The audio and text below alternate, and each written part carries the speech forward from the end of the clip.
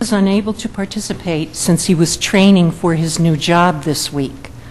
Also, Councilman-elect Bill Gaughan contacted Council's office late yesterday to say that he had a prior commitment and wasn't able to attend tonight's meeting. Mayor Doherty did not respond. The City of Scranton was able to secure a TAN not to exceed $17 million for budget year 2014, thanks to the tireless work of our financial advisor, Mr. Mike Judge of CaseCon, and City Council Solicitor Hughes, who drafted all the pertinent legislation. Consequently, earlier today, Mayor Doherty submitted an emergency certificate to the Office of City Council in order that this TAN could be passed during this evening's council meeting by suspension of council's rules. It is imperative that the city government act immediately to secure the TAN in order to provide for the financial needs of early 2014. Further, Council Solicitor Hughes recommended the suspension of rules and the passing of the TAN legislation tonight so that the agreement can be completed prior to the forthcoming holiday. In attendance at tonight's meeting is Mr. Michael Judge, financial advisor to the city. I requested his attendance in order to provide City Council and the public with an explanation and terms of the 2014 tax revenue anticipation note. Therefore, I will call on Mr. Judge first during citizens' participation, and I'll ask him to please remain in chambers as long as possible during fourth order to respond to questions that may be raised by members of the public. Finally, Scranton City Council's regularly scheduled meetings for 2013 conclude this evening. In the event that Mayor Doherty vetoes the 2014 operating budget, a special meeting can be scheduled and advertised in the local newspaper for the sole purpose of entertaining a veto override. And that's it. Fourth order, citizens' participation.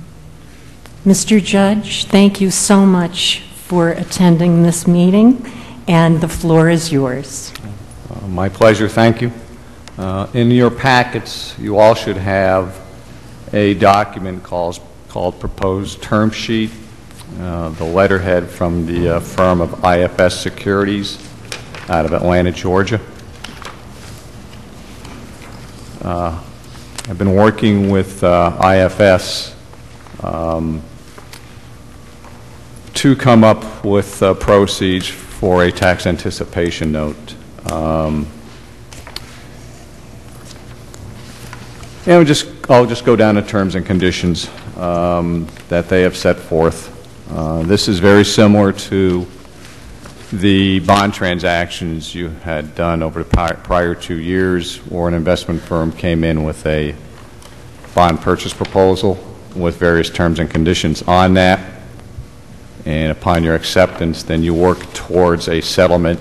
Uh, The attorneys uh, get together, um, get all the paperwork done, and you close on a certain day in the future. Um, This has an estimated closing date of January 3rd, and there's no reason we can't meet that deadline, all things being equal. And I'll just run down these terms and conditions. If you have any questions, stop me and ask. Uh, Obviously, the borrower is the City of Scranton. Uh, The placement agent is IF IFS Securities, Inc. It's a TAN. The amount, we have not to exceed $17 million. Um, The actual amount will be somewhat under that. We have, uh, over the past two days, um, done some homework on the cash flow. Um, This transaction will be a tax-exempt transaction. Your last two TANs were taxable transactions. You did not have to do this calculation in a taxable uh, mode. Um, In a tax-exempt scenario, you'll need bond counsel opinion. Uh, To get his opinion, you have to do a calculation. The calculation we did yesterday has a TAN size of approximately 13 million. But we didn't know that when we did this, so we did a not-to-exceed amount uh, in this uh, term sheet.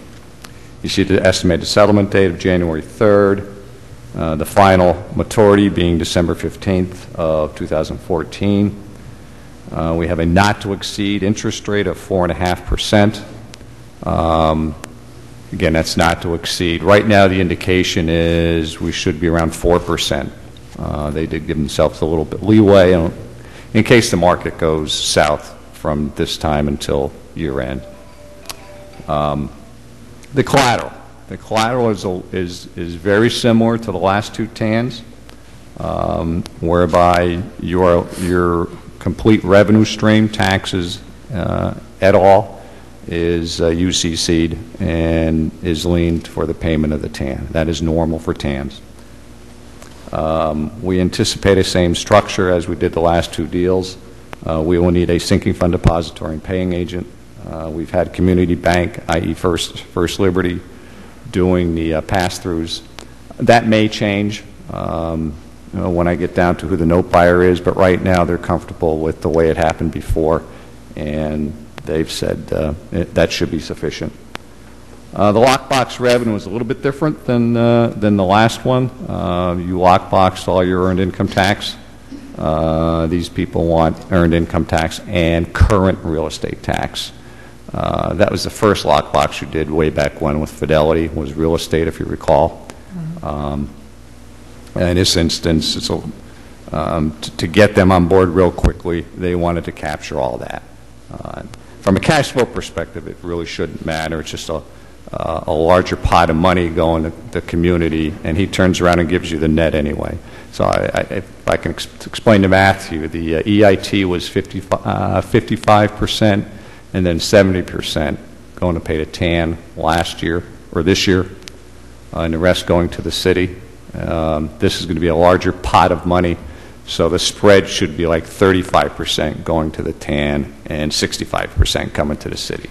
That's still an open question. We, that's one of the things we have to work towards closing and make sure everybody's comfortable from their side, the note buyers, that they're going to be paid, and from the city side, that you can fund operations and not have issues with cash flow that you did three years ago. So that's still ongoing. Uh, The lockbox distribution, I just kind of referenced, uh, that would be in the second paragraph there where you see the 35-65 split. And the, uh, the third paragraph there is kind of the out that we're still working on it. Um, The big, the big one to work on is March, since that's a big real estate tax collection and how we divvy that up going forward. Uh, The drawdown's a little bit different than amalgamated. You did it in two draws. They're going to give you all the money up front, which to me is, is better. You have all your money up front. Uh, The note buyer, this is unusual uh, in the last two bond deals that you did when they came in with a purchase proposal. They didn't tell you who was buying the note. Um, I needed that for uh, your reference, that this, this is for real, um, and that you have a significant pot of money buying this note from you, and it's Wells Fargo Capital Management uh, out of Wisconsin. Um, Very sophisticated investors, and I, have spoken to them, they're on board. Um, uh, The fees, um, these again are not to exceed 2.5%, and that is all-inclusive of everybody's fee. Uh, I'll give you a comparable. Uh, The last two amalgamated deals, uh, the fee was 3%, and it did not include everybody's fees. So we're, we're, we're doing uh, much better than that perspective. The conditions um, going forward are fairly, fairly standard. You need a budget before they can close. Um, We need a detailed monthly drawdown based upon that budget when it's enacted. Um, The 100% blanket intercept I just alluded to, that's, that's the uh, revenue distribution. Um, There will be a provision where they want to see a monthly positive end cash balance. Uh, They initially had $750,000 in there. I was uncomfortable with that, since I don't know what the budget is yet. So we have to negotiate some uh, monthly cash balance monthly, and then kind of negotiate, well, if you don't meet that, what happens? So that, that's, that's an open issue. Um, The debt ordinance and the documents, obviously, monthly reporting is obvious, no litigation, uh, and so on. Fairly simple. Comparable to the amalgamated RFP, or it, um, it doesn't have a precondition of closing the award court bond deal. It doesn't have the condition of uh, many other conditions in in that other one. It's pretty straightforward. Um, That's basically it. I mean, there, there's some work to be done, but that's the guts of it, and um, um, I'll answer any questions. Uh, I have one. Uh, If this were to be um, voted on this evening and approved, what would the timeline be for closing on this proposal? We're shooting for January 3rd. Thank you. The la- the last two transactions, I believe, were closed on January 3rd. Is it possible that it could occur sooner? Everybody asks me that. Um, Certainly, um, it can close sooner. I don't know what the, I haven't talked to bond counsel on whether you can close a 2014-10 and 2013. I don't know. But yeah, certainly. Um, That doesn't give us a lot of time. The the biggest item that needs to be accomplished is we have to do an offering document, this thing, the last two bond deals. Most of it's done. You know, we just have to update it. But that's the biggest um, weight we have to lift so far, and that just takes time. Other than that, um, hell, I could close in a week if, if, if we get it done, but um, we just have to put things together. Yeah, I, I, if you want to close this year, I'll make an effort, and if we can close legally, I, I'm going away on vacation on January 2nd. I'd love to close this year. Can, can you compare, and I know you did this a little bit when you went through, but could you compare the major items as far as, I know you mentioned on the fees, but could you also compare um, this year's TAN, the two- 2014 TAN versus the 2013, um, just for comparison's sakes, as far as In fact, fees? I have a comparison Oh, sheet great. here.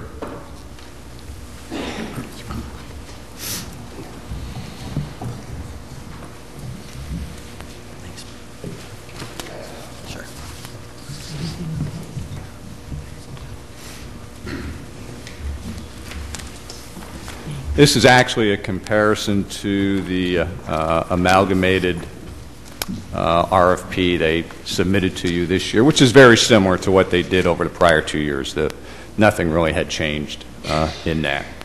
And I'll go down, you you can see the left, uh, the middle column is is the IFS Wells Capital Management versus amalgamated. Uh, The the first big real differential is the rate. Uh, We should be around 4%, or I shouldn't say, IFS should- Wells should be around 4% at a tax exempt rate. Uh, Amalgamated really didn't care if it was taxable or tax exempt, and they came in at an estimated 395 rate, so we're a little bit higher in- in in that instance. Uh, The terms are the same, the collateral is the same. Um, The only other difference would be the lockbox revenue. You'll see that we're doing real estate, and they're very comfortable with the EIT alone. Um, The splits, I didn't put the split in there, but the last splits were 55% through, going to the TAN through April, and then I believe it jumped up to 70% to, uh, to year end, and you paid off this year's TAN in mid-October. Yes. That's a little bit different. We're, we're going a smaller percentage of a bigger pot of money. At the end of the day, it should be about the same if we do our homework correctly. Uh, The drawdowns, again, we're giving you one, one pot of money up front. The fees, you can see where the fees are, uh, the last box there. Um, The next page, it kind of goes down to the conditions, which is, is a, a substantial difference, I think. Uh, The big one being um, what page would it be on? On the uh, third page, middle, middle down, where it has complete long-term financing for the police and the fire, was a precondition to amalgamated. We don't have that. Page three, middle down, starting complete. And a bunch of other things. You can see the terms and conditions are much longer uh, than ours. I tried to match them up for you. There are big differences. You know, it's, uh, TAN's not a real complicated uh, transaction. It's, it's only for a year long. You're, you're amortizing it monthly. Most TANs through- throughout the state don't do that. They just pay it at year-end, principal and interest at the end. But to get people comfortable in this instance that you're going to be able to pay it, they require you to pay it down monthly. Um, Can I, I won't assume, I'll ask. Uh, The the fees Yes. would be um, part or drawn from the proceeds of the loan? That's what we're anticipating, yes. It, the, the fees, the language in payment of fees is, is payable out of the finance proceeds or other city sources. So we, we assume it's coming out of TAN proceeds. So it would not require an additional budget item Okay. no, nor, nor can it. We put it in the cash flow uh, to calculate the size of the TAN. We put the fees in there. Now, we're obviously trying to borrow, I shouldn't say as much as we can, but borrow what is allowed under the tax law and what is needed to fund your operations. And we're still talking about exactly what that amount is, but it looks like it's around 13 million bucks which is a little bit under the 16 that you kind of went RFP'd for. And uh, frankly, I think la- this year you were committed to $14 million of the TAN, but you only drew down 12. So we're in the ballpark.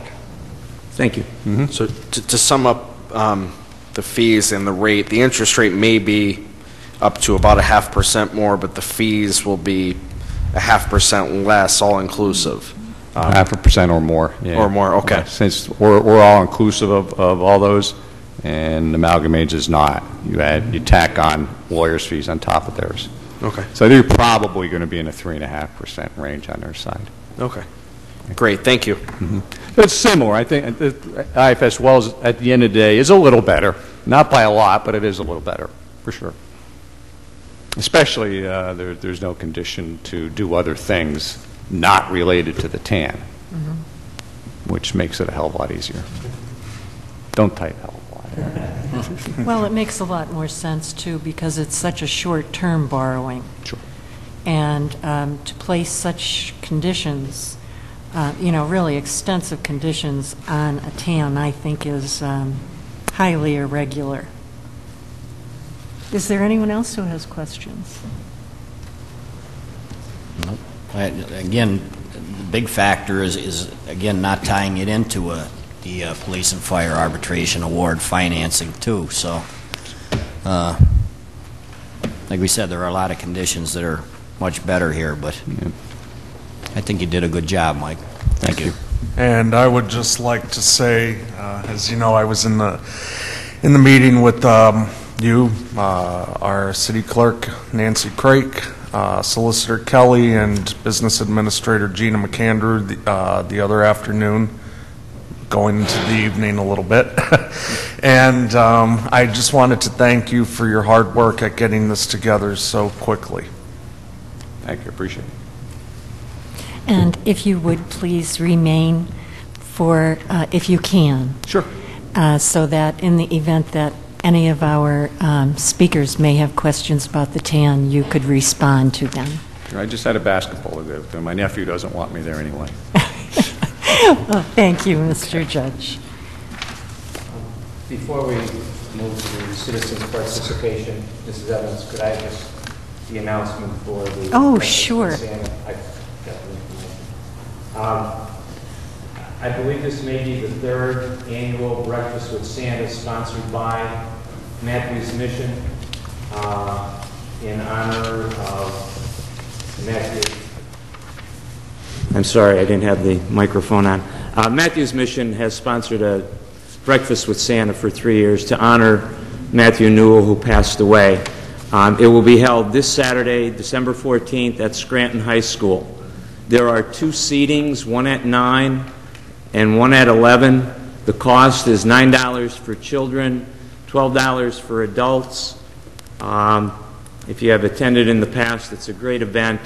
Um, They have a number of raffles. I think this year they have two 39-inch TVs that are being raffled off. They have sittings with Santa for the children and the adults, and, uh, you know, numerous other entertainments. The one caveat to this is that it does require a reservation. Uh, And you can contact Kathleen Hakis at 570-961-0818. It's a great cause and a great event, and uh, I would encourage people to try and attend, uh, especially bring the children, and they'll have a great time. And that number again is 570-961-0818. Thank you. Thank you. Mrs. Craig?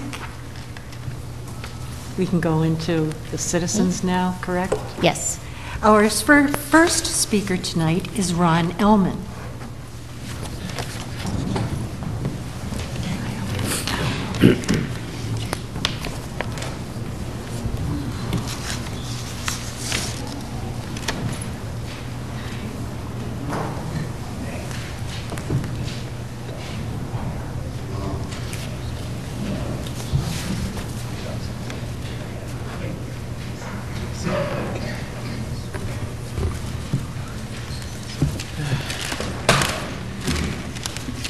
I'm slow, but I'm southern. I got an excuse.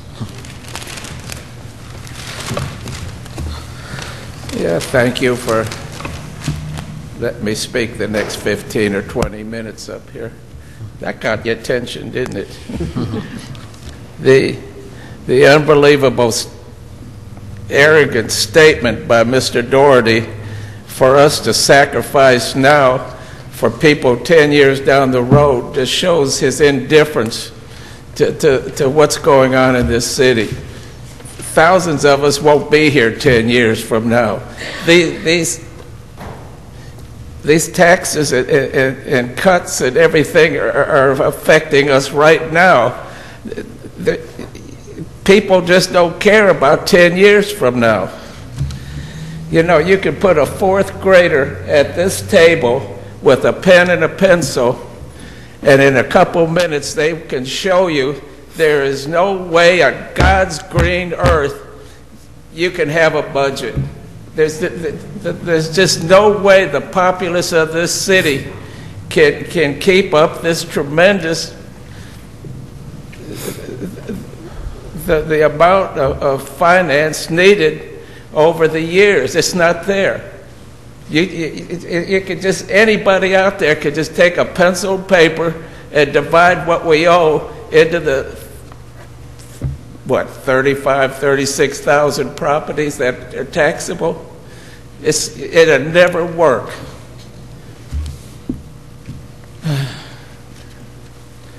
You know, right a couple of weeks ago, while you, while you people and the mayor were working on a your budget so hard.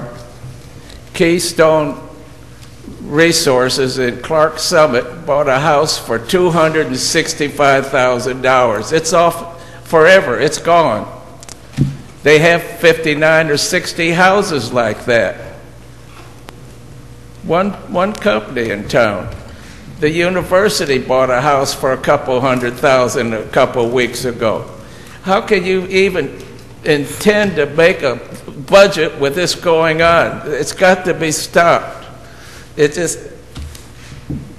it just, you're building budgets year after year on quicksand. It's just senseless.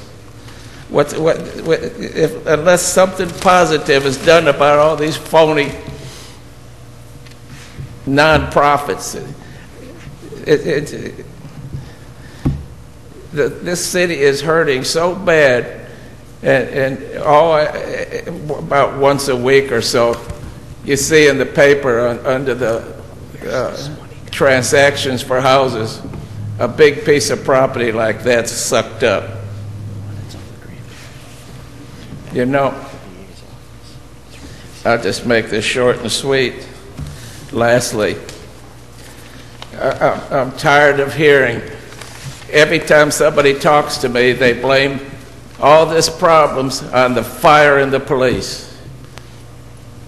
I've read not once, not twice, but three times Gerald uh, fr from the PEL and, and, and Mr. Doherty could have settled this. The lawyers just kept going and going and going more than three times. Do I have the facts right, Jack? You lived through this. It, it, it was senseless. And every time somebody talks to me, the first thing I hear, the fire and the police, or the fire and the police. It's not their fault. It's the, it's the incompetent way this city's been run year after year after year that have caused everything that's happening now. And, and sometimes I know I get, I, I really get uh, Frustrated? I'm trying not to offend council. I, I just get mad at council for some of the things they do. But council it seems to be our only friend that, that the people of this city have, and I certainly appreciate it. Thank you. Thank you. Thank you. Jay Walsh? Um, yes. Andrew Porter?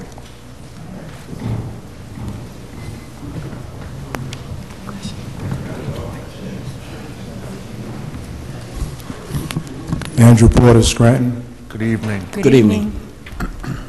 Quick is the word. Quick is the word. Let the children have uh, their Christmas. Let them have Santa Claus. Let them have their toys. What are we doing? What are we doing as a city? It took more than a decade to bring forth what has uh, taken place, and um, there's been no apologies to the people. There's no, been, been no apologies to God. This is the arrogance of power. The most powerful in the world is the Lord thy God. These are signs of government that is out of control. But quick is the word, because we still have time and the opportunity to do it. The gentleman just got up and talked about the police department and the fire department, and people were looking as if, yeah, well, you know, you're going the wrong route. Maybe so. The police department and the fire department are essential services, and these people have taken an oath, just like you, city council and mayor, to represent the people and to do the right thing according to God. And so you have an obligation not to other people so much as you do to God. And this has to be done, and it has to be done, and it has to be done quick. Now, people have voted and they've made a statement that they want to change. But we cannot change government. We cannot change the way we do things unless we change ourselves. And so we have to have a conscience. And we have to know where we come from at this time of the year, the most holiest, the most religious time of the year. We cannot mask what is, ha- what is being done to the citizens of this great city. This is God's city. We have an obligation to change this, and it can be changed. You can't do this by staying at home, because this is what you've been doing for more than 10 years, for almost going into two decades now. There has to be a change. There has to be a change. You can't just continue to do what you've done from one administration and, and then run it into a new administration. You voted for William Courtright, and um, you would like that William Cart- Courtright has the opportunity to- and, and the chance to be able to represent you and serve God by representing the people the way God would want this city to be represented. We have great kids in this, in this city. They had the opportunity to raise funds, to be able to bail out what has been uh, uh, misconstrued for, for, from a past administration. When a past administration can say that this is a flourishing town, a town of progression, a, a town that, that, that, that, that is, is, has no faults, give you that, that impression, that is an, a false impression. We would like to enjoy this uh, season, but it, it, we appear to be going into a foreclosure. We appear to be a city that's up for sale. And we do not, we should not look to fault because the fault is there, but we should look to fix. And the only way to fix this is for people to come out, for people to come out in prayer. I don't know how much money it would take if a billion dollars would fix this city. What needs to be fixed and what is broken in this city is the way government is run. We have to, we have taken an oath to do the right thing, and we have to do the right thing. And see, the problem that you'll have as politicians is that God knows what's in our heart. You see? So we have to do what's right according to God, and there is a solution, and we have to we have to look for that solution, and that solution is through God. No one will know or predict how God will react to what it is that we do in this time of season, in his season. No weatherman will be able to pre- predict this. We need to come together and we need to work and we need to be in commune, black, white, yellow, green. It doesn't make what make any difference what, what, what your nationality is. We are all God's children. And we, as the senior children of God, have the responsibility to do what's right. We have the, the most wonderful kids in the world in this city. And we have to look into our hearts and we have to figure out a way quickly, quickly, how we can make amends to God and how we can make amends without allowing our city to go into foreclosure. For those who are just sitting in the wings and make a, to make a profit of this, you can have my house because my house does not belong to me. My house belongs to God. But whoever picks up that foreclosure, and I'm not just talking about property, I'm talking about taking advantage of people. We have to come together. We are good people. We are proud people. But we are people in need. And we need to be able to help each other. And the only way to do that is to come in. Those who are at home, all the churches in this city, this is God's time right now. We need to come and we need to ask God for help. We need to do the things that we need to do. And yes, you have numbers involved and so on and so forth, but no amount of numbers is going to fix this city unless we fix ourselves. Thank you, Mr. Porter. Thank you. Les Spindler?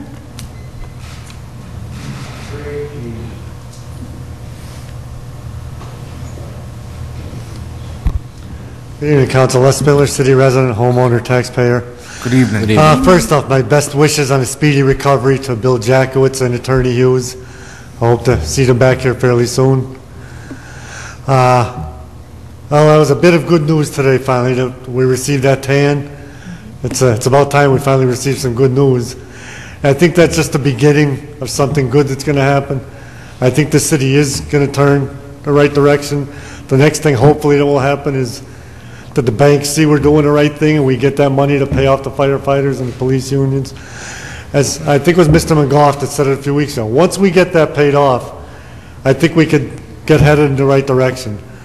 That, that, that- that's a big thing weighing us down, and I think once that's done, I I mean, it's gonna take a long time for the city to get straight, but I think we will be headed in the right direction once that happens. Uh, now onto the budget. I hope, uh, I know Mrs. Evans and Mr. Joyce, you said you're not making amendments since you won't be here next year, but I hope someone has amendments to this budget. I understand there has to be a tax hike. The bank wants to see a tax hike, or we won't get that court order, court award from any bank, so. I understand that. I'm, I'm more upset with this garbage fee hike than I am with the tax hike. As I said in the past, I don't think that's legal. We pay our property taxes to have our garbage picked up. I think that tax hike, I, I mean, I think the garbage fee is illegal. To raise it to three hundred dollars is gonna cripple some people. This, senior citizens cannot handle that. I have a neighbor back in, she's in her eighties, she puts out one bag a week. Another woman was here last week, said the same thing. It, it, it's just impossible for these people. With the, with the garbage fee and the tax hike, we're talking over hundred percent hike. These people don't get hundred percent hike in their social security. So how can they manage to, to pay these, these taxes and fees? It's just impossible. So, uh, I'm, uh, urging council to, to make some amendments. Hopefully make this, uh, budget real, more realistic than it is now. And I said, I understand with the tax hike, but that the garbage fee is unrealistic. I would be, be in favor of a per bag. I, uh, just hope there are some amendments. Uh, That's about all I have to say tonight. But uh, lastly, I know this is, Mrs. Evans and Councilman Joyce, this is your last meeting. And uh, hopefully you're moving on to bigger and better things. I know, Mrs. Evans, you'll be enjoying your family. Yes, And I wish you all the luck in the world. thank you, It was a a pleasure coming here every week, speaking in front of you. thank And you, uh, good luck in your future. thank you and, uh, very much. Same thing with you, Mr. Joyce. You've done a heck of a job in your four years, Thank you. and uh, you'll be missed. I just hope the person taking your place is just as qualified as you were. So, so, uh, Thank you. Best of luck and happy holidays to everybody. And to you You also. know, See you next year. Thank Take you. care. Doug Miller.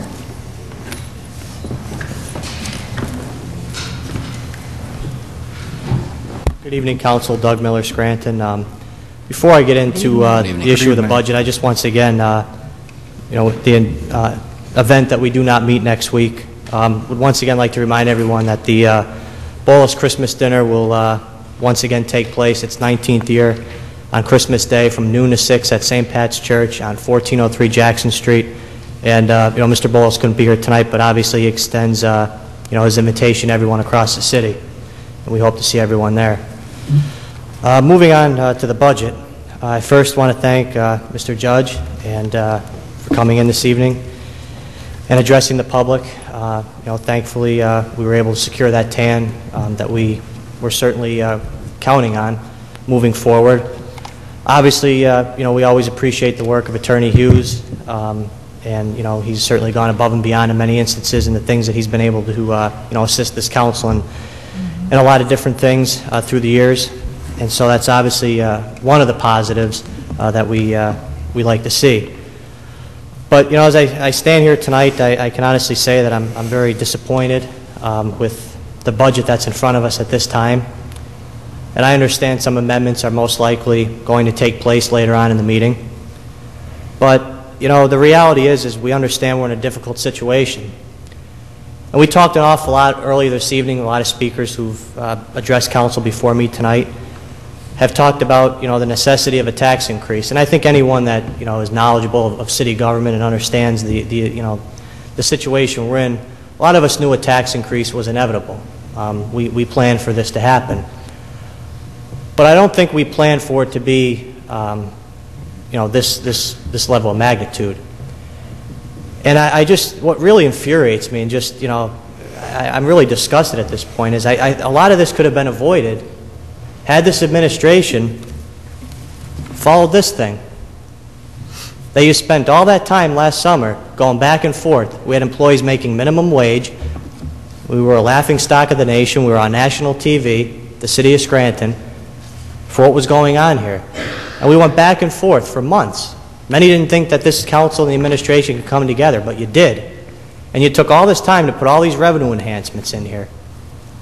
And we haven't realized half of it. And I think had we followed through on the recovery plan, this tax increase wouldn't be nearly the, the amount that the mayor is calling for. And it's yet again, time and time again, the, the arrogance and the fiscal mismanagement by this administration. And that's the legacy that they're leaving behind. You know, and it really upsets me. The other thing that upsets me is, you know, tonight, and I appreciate, you know, it's nice to see Mr. Judge here, but council sent an open invitation to the mayor-elect and his so-called transition team. Where are they? Mr. Joyce, you're our answer your- finance chair. Can I answer your question? No, you can't. Mr. Joyce, you're our oh. finance chair. Okay. You know, you've handled this budget. You know, you've, you've done a lot of good things. Has anyone throughout this process in the transition team, including the mayor-elect, reached out to you? No, but they have reached out to other council members, from what I understand. Okay. So you, as the finance chair, didn't have any contact with them? No. Okay. I think that's a very troubling thing. I really do. That there's been no dialogue between the incoming administration and this council to take part in the budget process. This is going to be their baby in another, what, three weeks? And we haven't heard anything. And that upsets me. The other thing that upsets me is the lack of creativity, as I said.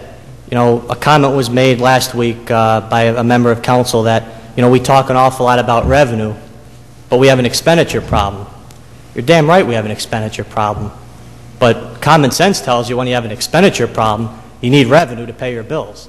And unfortunately, you know, this council, the majority of council, Mr. Joyce, you know, Mrs. Evans, and Mr. Loscombe, you gave us a lot of revenue here, but unfortunately, you know, as the, the old saying, you know, you can lead a horse to water, but you can't make them drink. I mean, if, if we follow through on these things, as I said, you wouldn't be looking at a 56% tax increase. Okay, people across this city wouldn't have to see a $300 garbage bill next year.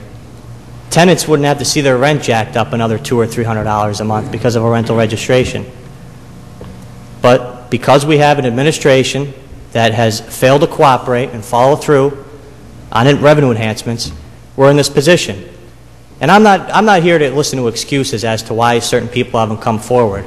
It's not what we're here for. There's too much at stake.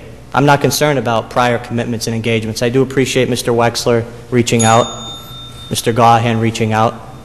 At least they had the decency and the courtesy to respond back. I can give them credit for that. But, you know, to not follow through on a recovery plan, I just believe is just totally uh, inexcusable. And uh, I can only hope that moving forward, you know, things change. Because I, I hate to see that the hard work of this council basically fall the wayside. And that's what's happening here. Because now what's happening is you're being asked to do the dirty work and roll up your sleeves once again. And that's not right. Because certain people don't want to make the tough decisions moving forward. I say, make the necessary amendments to save the residents of this city, but don't continue to be bullied and pushed around by people that don't want to do the work themselves, because that's what's gotten us into this situation to begin with. And I only hope that we continue to take these issues seriously, we follow through on things that are implemented to only better the city. And uh, with that said, if, if we don't meet next week, I'd like to wish everyone a Merry Christmas and uh, certainly going to be a Happy New Year. Thank you. Thank you. Thank you. And Merry Christmas to you. David Dobson. Good evening, Council. Good evening. Dave Dobson, resident. Taxes paid, Good fees evening. paid. Good evening. Um, Okay, uh, unpaid taxes and fees in the city are considerable, and I would like to see council endorse um, reverse mortgages for elderly people that are unable to pay them, because it's a considerable amount of money not coming in, and it's not coming in year after year after year. And eventually, the chickens are going to come home to roost on it sometime, and then it, it may be too late. Uh, now, the DPW is, I would regard it as as important as fire and police. Uh, I'd like to see in the new year an accounting of the DPW, what it costs for trash recycle costs, trucks, labor, maintenance, and so forth, so that we could sort out this fee business as opposed to uh, uh, property taxes. And uh, also, I would point out that some people uh, with a higher value of a home would be disproportionately affected also. Uh, If if your home is assessed at a much higher value than, uh, than the guy uh, down, down the road, well, then you might wind up paying $500 extra in property tax instead of the uh, $300 trash fee. And I'd like to see a conversion to cans and enforcement of recycling. The mayor has a, an add-on, and, and uh, unfortunately, the one thing that the ad lacks is what is recyclable.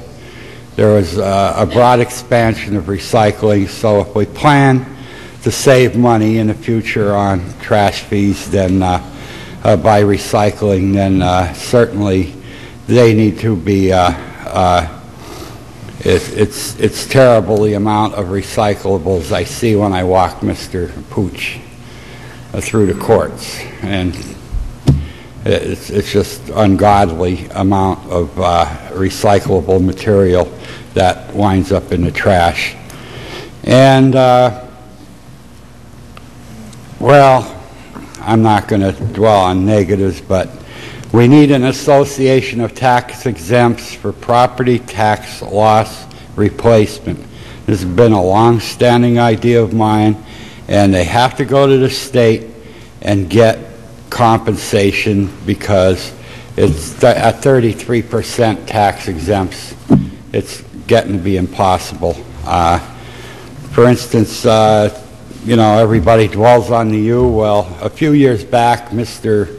Senator Santorum was over there talking about the great idea of uh, privatizing Social Security, and I saw a lot of 50-somethings that were concerned about it, and Mr. Santorum had his cheerleading section, and uh, fortunately, he's no longer a senator because uh, that would have been a disaster. It would have been a, one big disaster. But the point being, as a tax exempt, you're supposed to provide both sides of the story, have a debate, not a selling, uh, a, a selling seminar uh, to, to con people into something. You should have an opposing point of view. So that's how a lot of tax exempts operate in a negative fashion towards the uh, public at large. And uh, well, a lot has been said on the unions and so forth. A- Another thing that has been offensive from the tax exempts is somebody came up with, I don't know if it was the Scranton Times, I read it, but it's money down the rat hole for pilots. And uh, if that's all you think of a pilot as, and the city is a rat hole, what are you doing here? all there is to it. Basic question. What are you doing here if it's money down the rat hole? They, they want to have some kind of say as to how the money gets spent or whatever. Well, we need too much money to spend right now, so. And uh, I'd like to issue a warning with public unions. Uh, we have the Trans-Pacific Trade Pact. Call your senators, call your congressmen, call the president, call whoever you can, and tell them to can it. More jobs lost. 33 years of job losses of working class. And uh, by the way, the unemployment compensation is probably not going to be extended by our uh, federal Congress. It's under vote right now. The Ryan Murray plan has no solution for this. How do you people pay the bills if there's no money coming in? It's, it's just, years back, you used to get fired from one job and go right up to the next job, and you probably got a quarter raise or a 50 cent raise. Now it's, forget about it. We have three qualified job applicants for every job. So I often wondered how many, how many uh, income taxes were lost just by these trade pacts to cities like ours and the federal government. And thank you and have a good night. Thank you, Thank you. Mr. Dobson. Ozzie Quinn?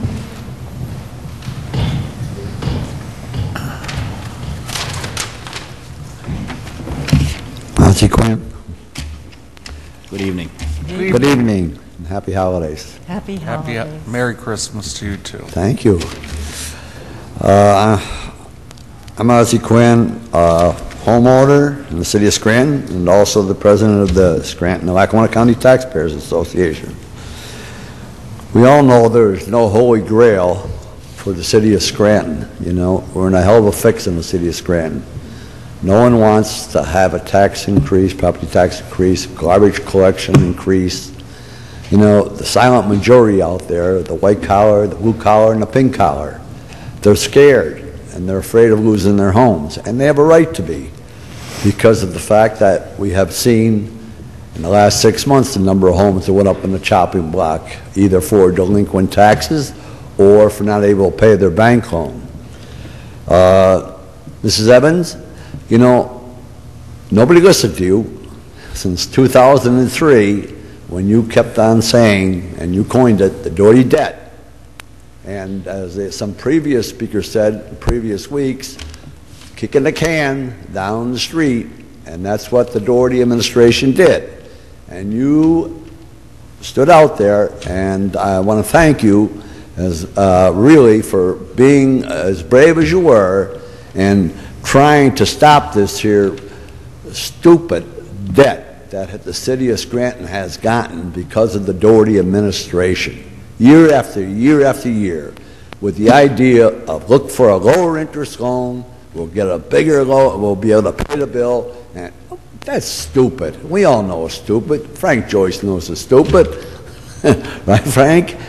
And, you know, but yet it was allowed to go on and on and on, and here we are today, uh, December 12th, 2014, and we don't know where the heck we're going. You know, it scares me because of the fact that, you know, there's a new administration coming in, and I would be totally remiss if I come up here and just said to myself, you know, I want to bang the hell out of the Doherty administration or say we ain't going to have a tax increase and whatnot. But you know, from the Taxpayers Association standpoint of view, you know, we reached out to Senate, uh, Representatives Flynn, Kavulich, and Mr. Haggerty in regards to House Bill 76. And we're reaching out to Senator Blake on House Bill, Senate Bill 76, which is, if approved, will eliminate school property taxes.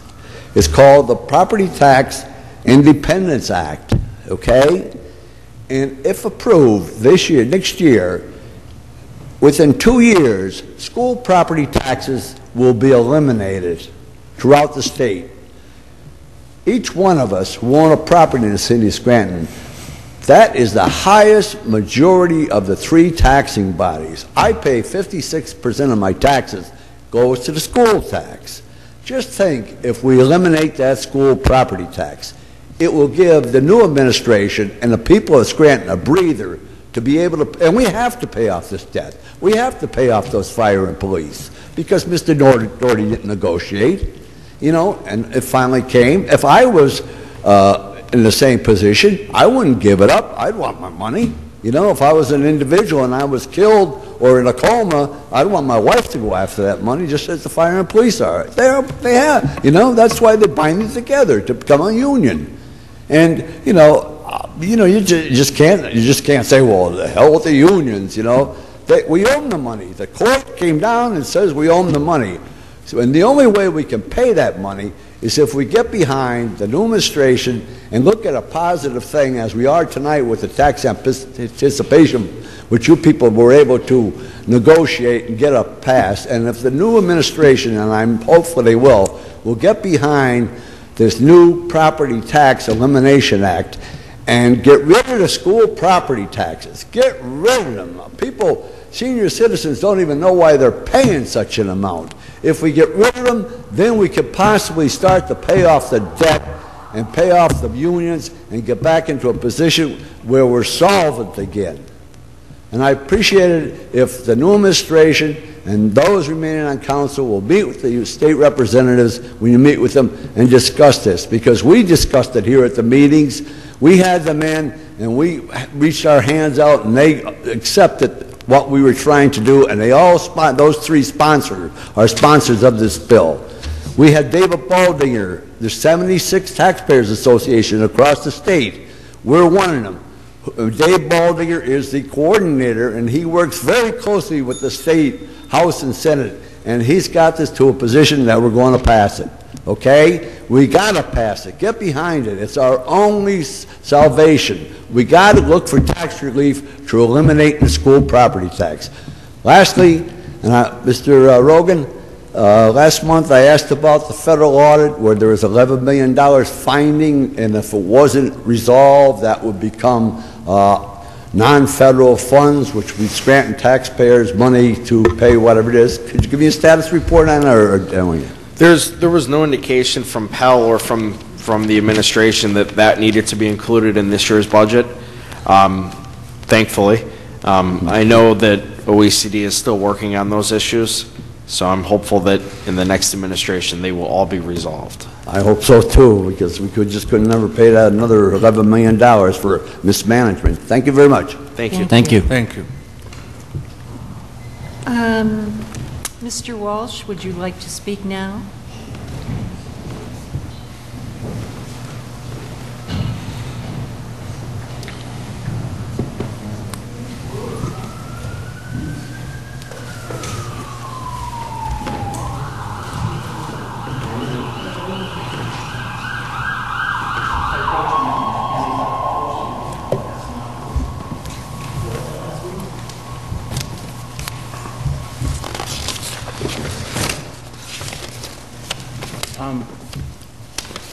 I see the winds of change are upon us. Going forward, I pray and hope we can do the right thing, for the future is here, and we are it.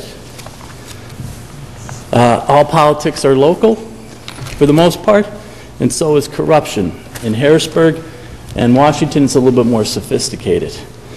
Um, It seems like with the information last week and the $21 million that the uh, uh, union's looking for, are we $28 million in the hole starting off?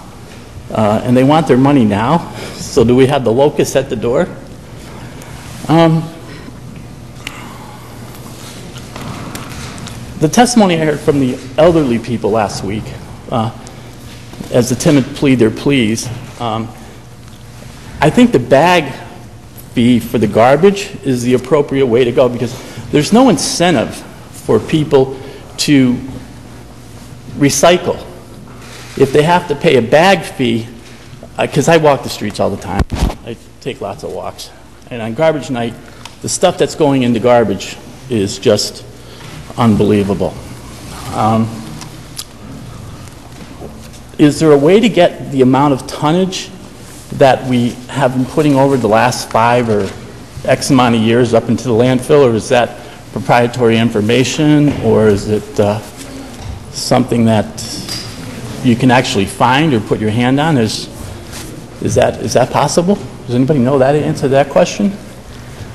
I'm a numbers man, okay? Uh, Being in marketing for 30 years, it's all about the numbers, okay? So are we going down in, in, in what we're depositing up the landfill? And now we're going up in price? Doesn't make sense to me. I mean, it's, you know, people are looking for value. Um, We're a Class 2A city, as I understand it, and the uh, Harrisburg administration did not put a, handcuff us in actually filing Chapter 9, as I understand it. Um, uh, Last week, Mr. McGoff said to me, uh, or said, not to me, he said uh, something about going into receivership costs more money. I tried to find that information. If you can give me an idea where I can find that information, I know there's 50 cities that have applied for uh, bankruptcy, but I can't see where the cost is actually more. So if you could help me out there, uh, I like researching things. Matter of fact, I pretty much spend every day researching. And I find some interesting nuggets. Um, we can uh, roll up our sleeves and be the train that can, or it can continue on our off trackness. And uh, who knows where we might land up. Uh, if you don't stand for something, you'll fall for anything. And uh, I think that uh, we're at a crossroads and we have a great opportunity to uh, go forward. Thank you. Thank you. That concludes our sign-in sheet. Is there anyone else who cares to address council?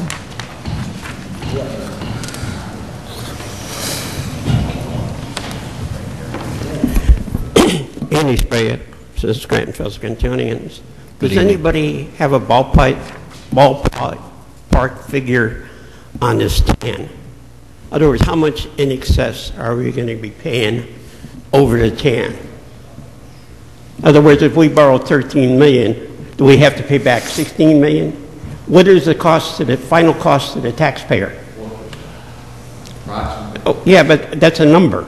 It doesn't give me a cost, a cost number. You must know exactly what the cost will be to the tax. I don't have an amortization sheet. If I had one, I could look at it and I would know, but it's not in front of me. But somewhere along the line, 4% is nothing. It's the cost. That's a variable too, right? Plus the cost of the borrowing the money too.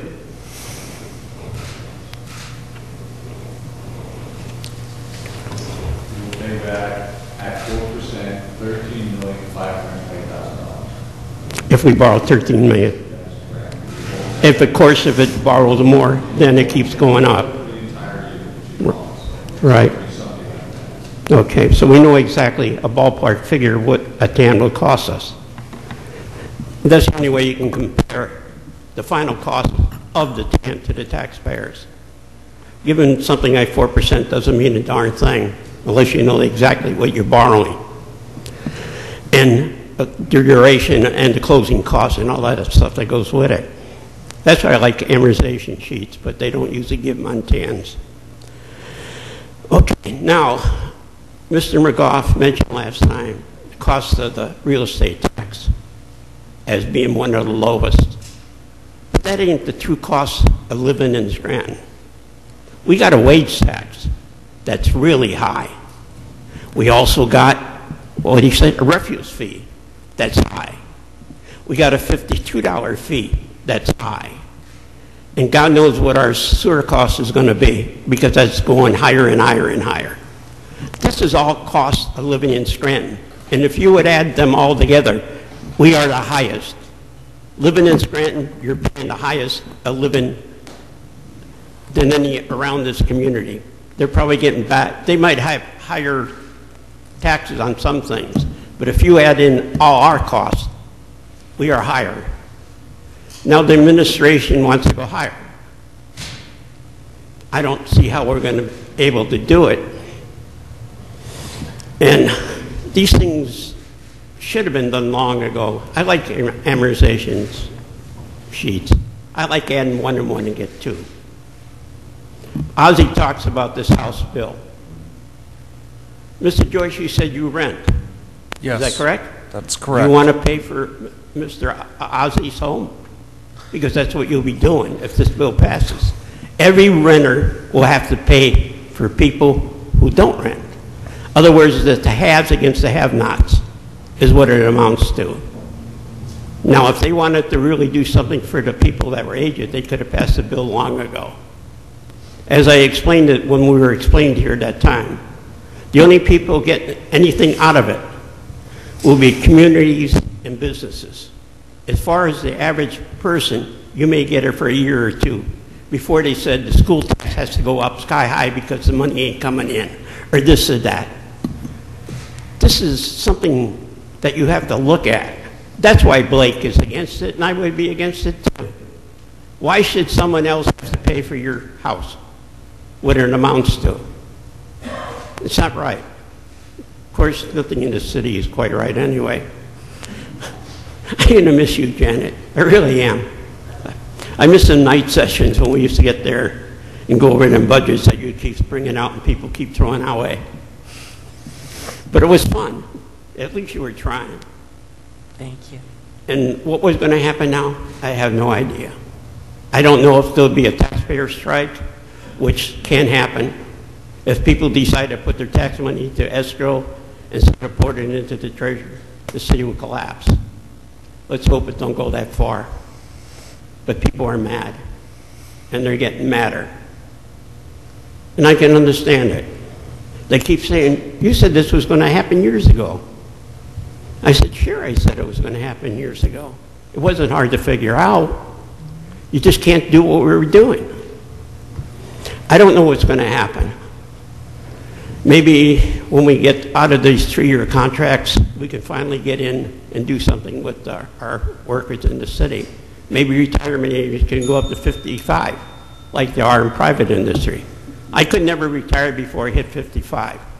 Why should somebody have to retire at 23 or something like that? Thank you. Thank you. Thank you. Thank you.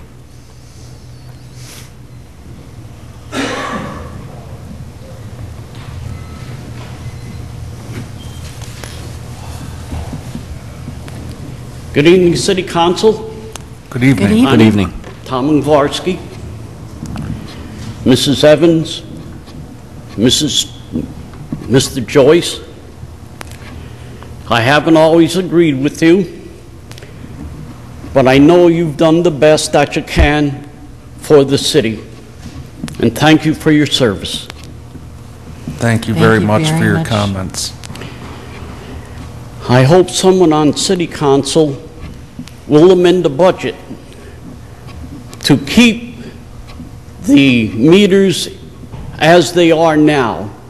It is probably the only thing that is really making us any kind of revenue. I hope someone will amend the budget to include them. It seems that somewhere along the way, the leaders of Scranton forgot what the city is. Scranton was always a city of hard-working people. Somewhere, we got the idea that we could bring in people from New York, excuse me, and become a 24-hour city, a college town. Scranton was never meant to be that. We had a Chamber of Commerce that never brought anything into this city and always took from the city. I believe when they sold the old Chamber of Commerce building, they owed taxes on it, and they never paid it up. I hope the new administration will realize that it is the people in this town that need the help.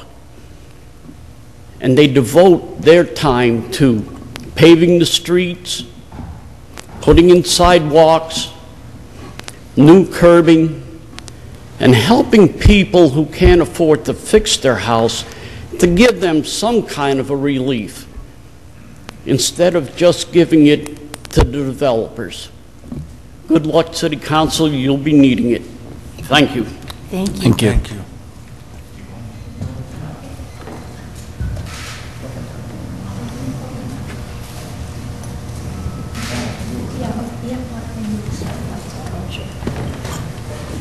Good evening, Marie Schumacher. Good evening. Um, And before I use up all of my five minutes, I would like to uh, echo uh, Mr. Ungvarsky's comments and thank Mrs. Evans and Mr. Joyce for your service. And, uh, and I say, we always didn't, same thing. Thank Always you. didn't agree, but Thank you. I think we always had Could I, our... s- could I stop you and hold your time for a little bit? Because I do have answers to uh, Yes, some of that your was my next question, thank you. Yeah, so uh, i- Okay. if you could please uh, pause the stopwatch so I could answer some questions. I, I uh, attempted to reach out to all the department heads as well as PEL uh, with, with your questions that you had. I did obtain the answers to many of them. Unfortunately, I couldn't get the answers to all of them, but let me start.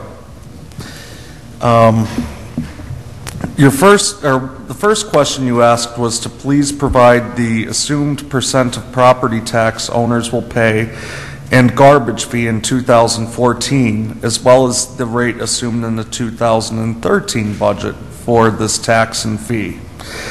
Um, Basically, the collection rate uh, that was assumed for the real estate tax was 88% in both budgets, both 2013 and 2014. Uh, For the garbage collection fee, it's 76%. Both years? Yes. Thank you. Um,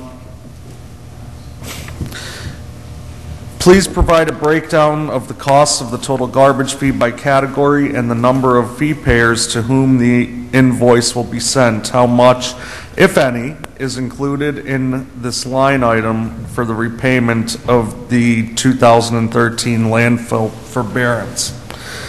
Um, I didn't get a concrete answer for this question. Uh, Basically, the response that I received back from PEL was that we could try to isolate costs further, but um, what what I actually sent them was correct in the things that I listed as expenses of uh, refuse collection. And of course, um, those are uh, the cost of labor for refuse slash recycling workers, as well as their health care benefits, workers' compensation, pension, um, as well as uh, the cost of fuel, fuel for the vehicles responsible for the collection of refuse and recyclables, as well as the cost of vehicle repair, and also uh, the tipping fee. Um, I don't have the exact figure on, on that number.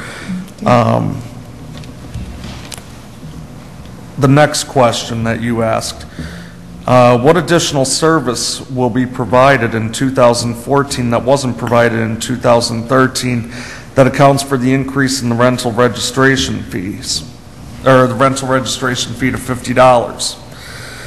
Basically, I said to um, PEL, you know, are there any other services, in the department heads, are are there any other services that'll be provided uh, for the increase in the rental registration fee? And personally, I'm assuming that they're not. However, I know that the increase in the rental registration fee is similar to some other cities in the United States um, and in Pennsylvania. Basically, PEL stated that as long as the fee covers the cost of the inspection plus administration slash record keeping and is not a tax in disguise, then the fee amount is probably okay. The city would have to determine the true cost of providing the service. So interesting enough, if the city says, well, the inspection is, what, it would cost $300, um, that's the number that they could use to justify an increase. If they could- Even though maybe, that, maybe the city could think in the year before that an inspection was only costing $100. So, um, it's, it's very vague, uh, the rule on it. And, and I I think the the, uh, the the property owners could testify as to how long they spend at their place, so that would be, and what the hourly rate is, so that's something that could be verified as to whether it's a tax or a fee. But thank, Yes. thank you, yeah. Um, you also asked what is the intergovernmental reimbursement split between CDBG demolitions and state's contribution to pension obligations. Um, essentially, for 2013, the city received three, approximately $3 million in state aid, and that was applied to the 2013 MMO. Um, that's the amount assumed for 2014 as well. Uh, interesting enough, uh, and I and I did not know this uh, in regard to um, OECD, is that they can charge uh, retirement costs to uh, they could take them out of CDBG funds, and um, actually, PEL uh, did state that they'd be surprised if the city is not doing this. Uh, but PEL doesn't monitor that fund, so they didn't know. Um, As far as pilots, you asked uh, from what entities and in what amount for each uh, will pilots be received. Uh, For the University of Scranton, as as we know, it's 175,000. Lutherwood is 6,000. Harrison House is 500. And additionally, uh, the city does receive uh, some pilot contributions from the Scranton Housing Authority. Um, I asked um, if I was missing anything, and I I really wasn't. That's all that we're getting. But Um, didn't, but didn't the, isn't the amount in the 2014 budget considerably more than that amount? um, I Which would be um, $181,500? I think it's more than that in the budget. So where's, what makes up the difference? Uh, in- Interesting enough, um, I would assume that uh, the city is uh, somehow optimistic that they will obtain more pilots. Okay. The next question you had posed was the miscellaneous revenue slash cable TV reven- revenue includes $28 million to be borrowed in 2014 for the Public Safety uh, Employee Payback Award, or Back Pay Award. Uh, It's my understanding that there will be a $100,000 penalty per month for non-payment of this back pay. When is the $28 million expected to be received, and when will, and will it suffice to cover the interest? Well, um, PEL's response to this, and, and I had my own response, and, and I asked them to provide some more input. Basically said, they said the award borrowing should be $22 million for the award. In parentheses, award plus costs of issuing the bonds, which of course, uh, well, Mr. Judge would probably know more about that than, than I would. Um, and the pension is for $6.1 million, unpaid, unpaid balance plus the interest penalty. Unless, of course, uh, that TAN does come in before the end of the year and that pension payment is um, made, but I know that's asking a lot. Interest is included on the pension payment. Uh, They weren't sure on the month- monthly interest charges for the union. Uh, Only half a year of debt payment in 2014 for the award financing.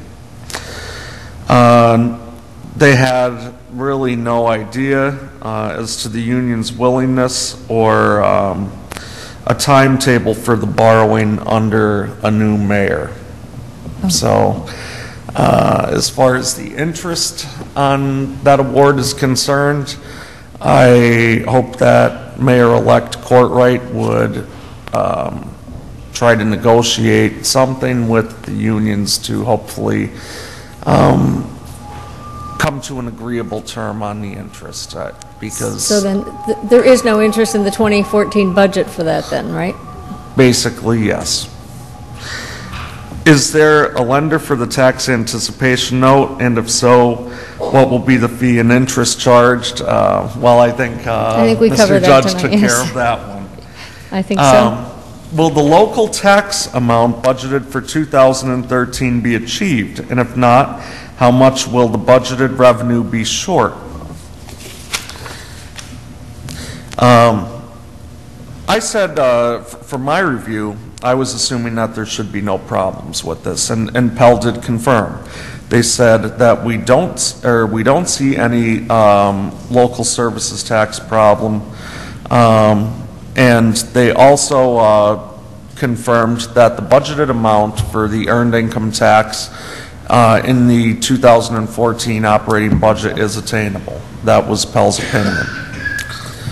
Um, The uh, next question that you had related to uh, uh, a revenue amount for the TAN of $16 million, and then on the expense side, it was $17 million. Um, That was put in there to cover the cost of fees and interest, but um, as Mr. Judge did explain, on a $13 million TAN, the cost of it would be about 13.5. So, uh, for instance, on a $16 million, uh, $16 million TAN, I'm assuming the cost would probably be somewhere in the, oh, I'd say 650 to 700,000 range. Um, Mr. Judge, am I correct in my assumption? You are. Uh, In fact, I just got a text back, you cannot close a 2014 TAN in 2013. Okay. So I guess we uh, now know the answer is that we will be paying the interest on uh, the, uh, the MMO payment. Okay. Um, Next, you asked, what is the tax collection committee? Who are the members and why do they expect to incur expenses of almost half a million dollars? Um, This is the countywide tax collection commission. They collect the earned income tax. And basically, that's what I was able to um, obtain. No, okay, that's, oh, okay. uh, so I know I, I know I didn't get to, Yeah, I didn't there's- get all your questions, but I did get as much as I possibly could. Well, yeah, there, there are certainly more unanswered than answers, but I appreciate what you did, but, you know, I, I feel, and two of the members aren't there, but everybody should want to know the answers to these questions before they vote on the budget, and, um, and if they don't, uh, if I were sitting up there, I would have to recuse myself, because if I didn't know that this was an actual workable budget, I couldn't vote one way or the other on it. So I'm, I'm disappointed that the answers aren't fully available, because I, I think they're all legitimate. Uh, Especially, nothing on that $7 million jump uh, over the unpaid bill or court awards. Is, uh, is the unpaid bills going to be the uh, deficit that we're going to have at the end of 2013? Well, we are holding back bills, uh, plus there's, of course, the MMO payment that's going to be missed, that's going to be made up for in 2014. So uh, your assumption is, is very logical and, and correct. Okay. Thank you, and, um, and you already said nothing, nothing in the, the budget either for, uh, for that, all the interest that's going out. Uh, Mr. Rogan, I have two questions for him, but I guess he wasn't interested in the answers to my questions either. Um, I could take a crack at them if they're Well- OECD related. Well, yeah, I'd like to know where that, the uh, delinquent loan status of all the delinquent loans is. That's been weeks. That's something that Mr. Rogan has been involved in, so. And then the other one, he has been uh, advocating going to a per-bag fee for the trash, and I wanted to know from him how much per bag he thought we would, or calculated, I would hope, would have to be charged to raise the $7 million that's in the budget for the trash removal. Yeah, um, to be honest with you, I don't know if there's ever been a garbage study done in the city of Scranton or any other city that determines the amount of the number of bags of trash that the average household puts out every week, but um, just from looking at, there, there's uh, one city in, in Pennsylvania I know that does a per bag fee, and that's Wilkes-Barre. And uh, I know that theirs is two dollars per bag. Okay, and But I, I, I don't think two dollars per bag would would give cut us it seven here. million dollars. Yeah, I, I don't think so either. Uh, Will we be collecting the trash at the 24%, the homes of the 24% that are not plan, uh, will not be paying according to the, the collection percentage that they're using for the budget? Well, it's, it's, um, I, I- I'm assuming that, that will happen. I don't see the DPW being able to, or even knowing who pays their trash bill and who gets behind. Um, You know, I think at least uh, NRS has done a very good job at going after those with delinquent trash bills, and I hope they could continue their good work, and hopefully there's some way that um, in the next administration that uh, they will be able to collect uh, refuse fees more effectively, because that that is very problematic when you think about It is, one- because three our out of every four $300 rate households is, pay. is going to pay for the quarter of the people who do not Right, you're, you're who absolutely don't bother to correct. pay. And it is in the ordinance, uh, they originally drafted back, I believe, in 89, that that is uh, something that the DPW is allowed to do. So uh, I would certainly hope that was looked at. Um, And I just want to verify, if there are amendments to the budget tonight, there will be a second round of questions since we have not been made privy uh, to any amendments.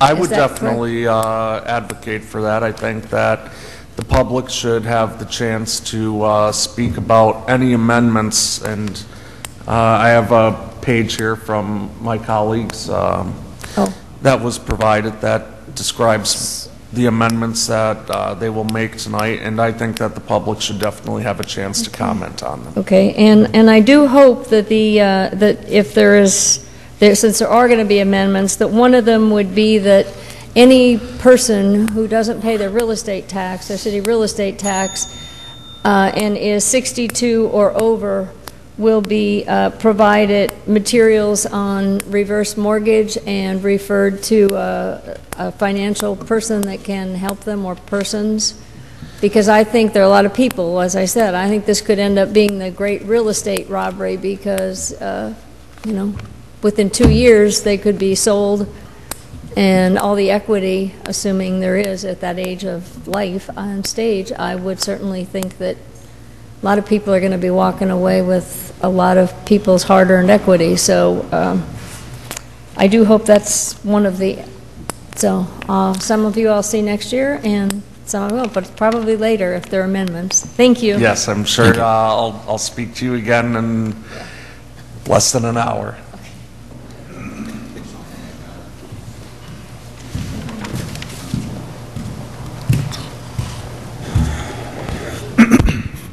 Good evening, Council. Good evening. Good evening.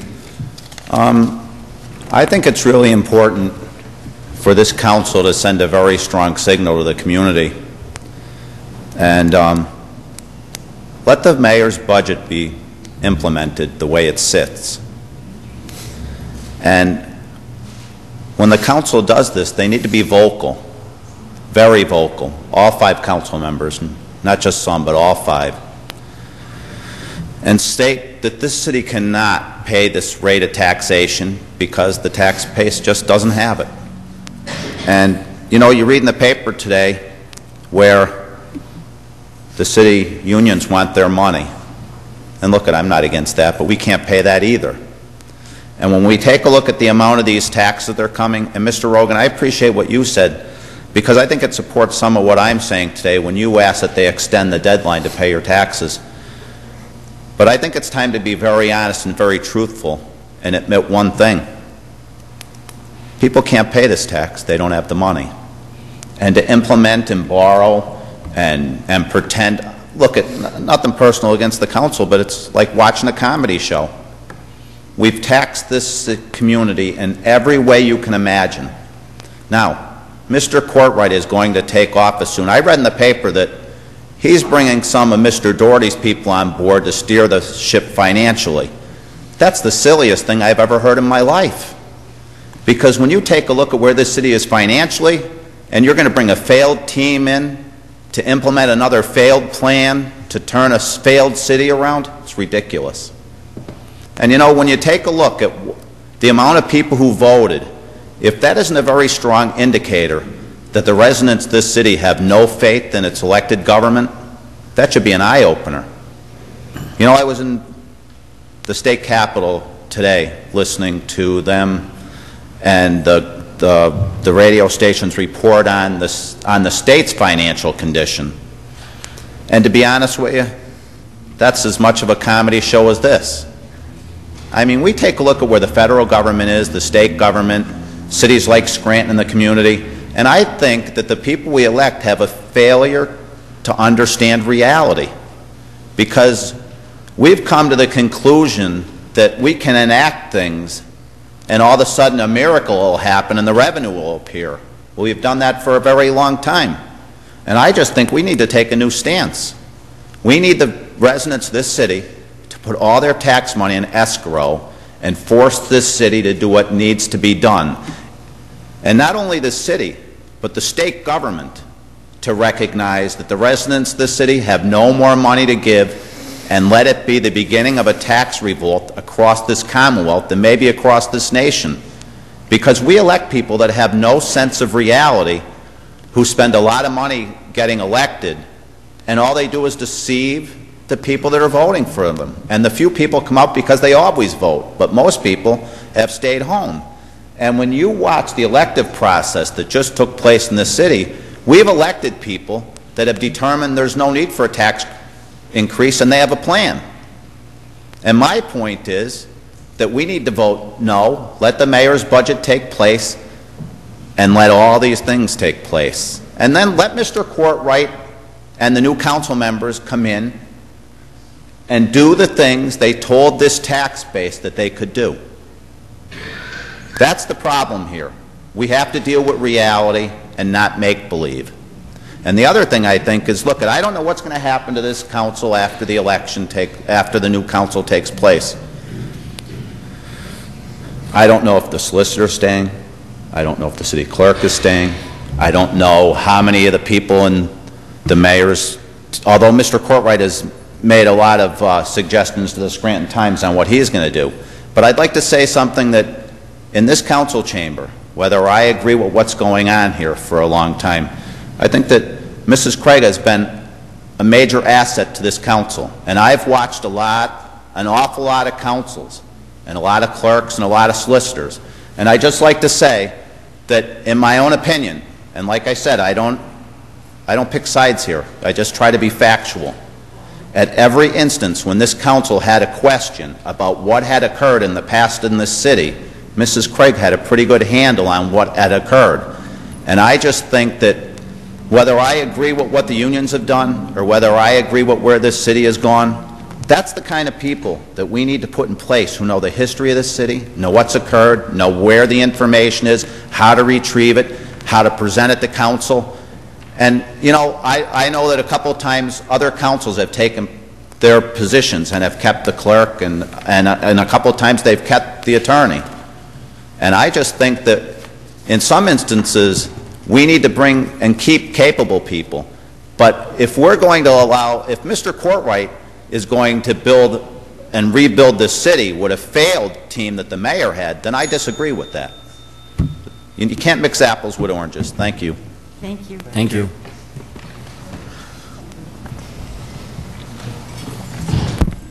Fay Franus, Scranton. Good evening. evening. Good evening. Good evening.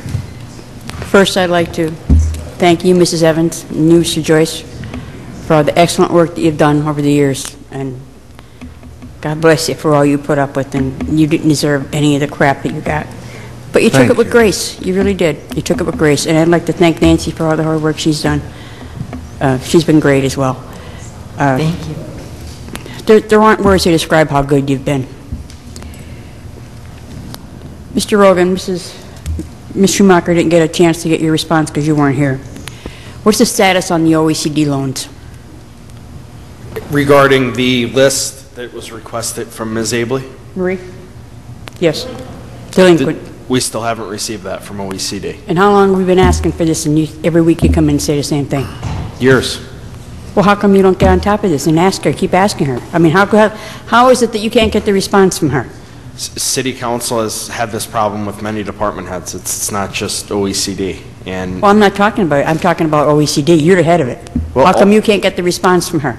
ultimately, she answers to the mayor, not to City Council.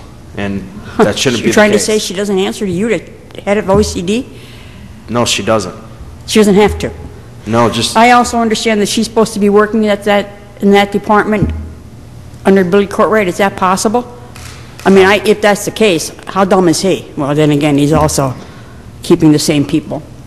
I mean, here's a woman that can't keep track of $11 million, and she's going to be rewarded by keeping her job? I wrote letters, and I didn't get a response from any of you, uh, Mr. Rogan, Mr. McGoff, Mr. Loscombe, uh, regarding the questions that Marie asked. Did, Frank, I really appreciate all the time, and you didn't even have to, because you're not even going to be here next year. You took the time to call all these people and get the answers, which is very much appreciated. And like Mrs. Schu- Ms. Schumacher said, how could you pass a budget if you don't know the answers to these questions regarding the budget? Mr. Rogan, did you call anybody to get any answers to any of your questions? I have no, no questions regarding the budget were directed to me Yes, from Ms. were. Schumacher's list. They, they were only provided to Mr. Joyce and Mrs. Evans, I believe. No, last week when she was here, she wanted all of you, and I even said, and I wrote you a letter, which I got no response. And I said, Ms. Schumacher asked all these questions, and I hope that you go to the department heads and get the answer, not just Mr. Joyce, you and Mr. McGoff. I can't believe that you could sit there and say that no questions were directed. I, I didn't receive a letter from Ms. Schumacher. I don't think you had to. She was here last week and asked every question. You could have asked uh, your clerk to get the copy of the questions. And I stood here last week and said you should get the answers, and make sure that you do. Did you not hear me? I, I'm not going to argue with you. Well, I mean, that's your job. It's like I told you in your letter that I wrote you, that, like, Mick it, I, I didn't even write it. Uh, you also said last week that you're going to make amendments, but you're not going to raise any salaries to the current level. Does that mean that, since it's the current level, are you going to make an amendment to raise the salary back? Mr. Doherty, Mayor Doherty wants to decrease the fire chiefs. Are you going to put an amendment to raise that? Um, would you like me to address the amendments? The, I'd like you to address the question, to that, that specific question. Are you going to make an amendment to raise the fire chief's salary back up. The amendment package contains um, sustained funding for the fire chief's salary. That means to put it back to what it was? The same salary as it was, yes. Yeah, okay. Where are you going to get that money from? Um, DPW overtime. Oh. You could guarantee, you could guarantee that there's not going to be overtime. No, there's, there's still funding for DPW overtime. So, but if there's, here's my point. If you could take money out of the budget to pay for something else, why don't you just take that money out of the budget and leave it out? Don't put it towards anything else. If we're so far in the hole, why would you take money out of something? Why don't you just take it out and subtract it and bring, make it less for us taxpayers instead of playing around with it to take care of Billy Courtright? Bill Courtright, is the only thing he asked council that he wanted them to do was put the fire chief's salary back up. Isn't it amazing how he wants to take care of the unions? But that's the one thing he wanted council to do. Nothing else you heard from him because he's nowhere to be found because he's afraid to answer questions from the council. Because he's going to appear less than knowledgeable, let's put it that way. Uh, I find it amazing that you took care of that, though. Another thing, why not you, no, this isn't too hard to figure out. You could get a, a driver's license or a birth certificate. Why can't you have senior citizens over 65 pay maybe the same amount that it is now or even less for garbage? Why can't senior citizens, 65 and older, or maybe 62 and older, pay a low amount for their garbage? It's not right. I have one bag of garbage, that today, for tomorrow's pickup. My neighbor has six cans. Okay? So how come senior citizens can't pay? That shouldn't be hard to figure out. Wouldn't that be fair? I mean, you were saying, somebody was saying earlier, at Mr. Joyce maybe, that you couldn't keep track of who paid and who, who didn't pay. But that, that's, that's why you have people that do that. But it should be easily to find out who the senior citizens, and they should be allowed to pay less. This isn't fair at all. And like I said, we'll be able, and again, I want to thank you and Mrs. Evans and Nancy for a great job, and Mr. Hughes as well. Uh, So thank you very much. Thank you. Thank you. Is there anyone else? I missed you last week. Chrissy. Hi, Janice. Hi, Chris. Well, tomorrow's big game for first tomorrow, Frank. So we win tomorrow, Frank. Tomorrow it's gonna be a good game tomorrow. All first luck tomorrow. Thank you. All right. Chris, you need your Put hat. You're getting Put on gray. your devil horns. We're all behind Old Forge. Oh, That's right. Even though it's not West Side. Is there anyone else who cares to address council? Mrs. Craig? Yeah. Oh, yes, we did have quite a number of Boy Scouts present for tonight's meeting. I'm assuming that they were doing so in fulfillment of um, earning a badge. So we thank them for their attendance. What was the troop number? 16? Troop 16. Number 16 of Scranton. And this young lady here was going to make a speech. Do you still want to speak? She's a little shy. Thank you.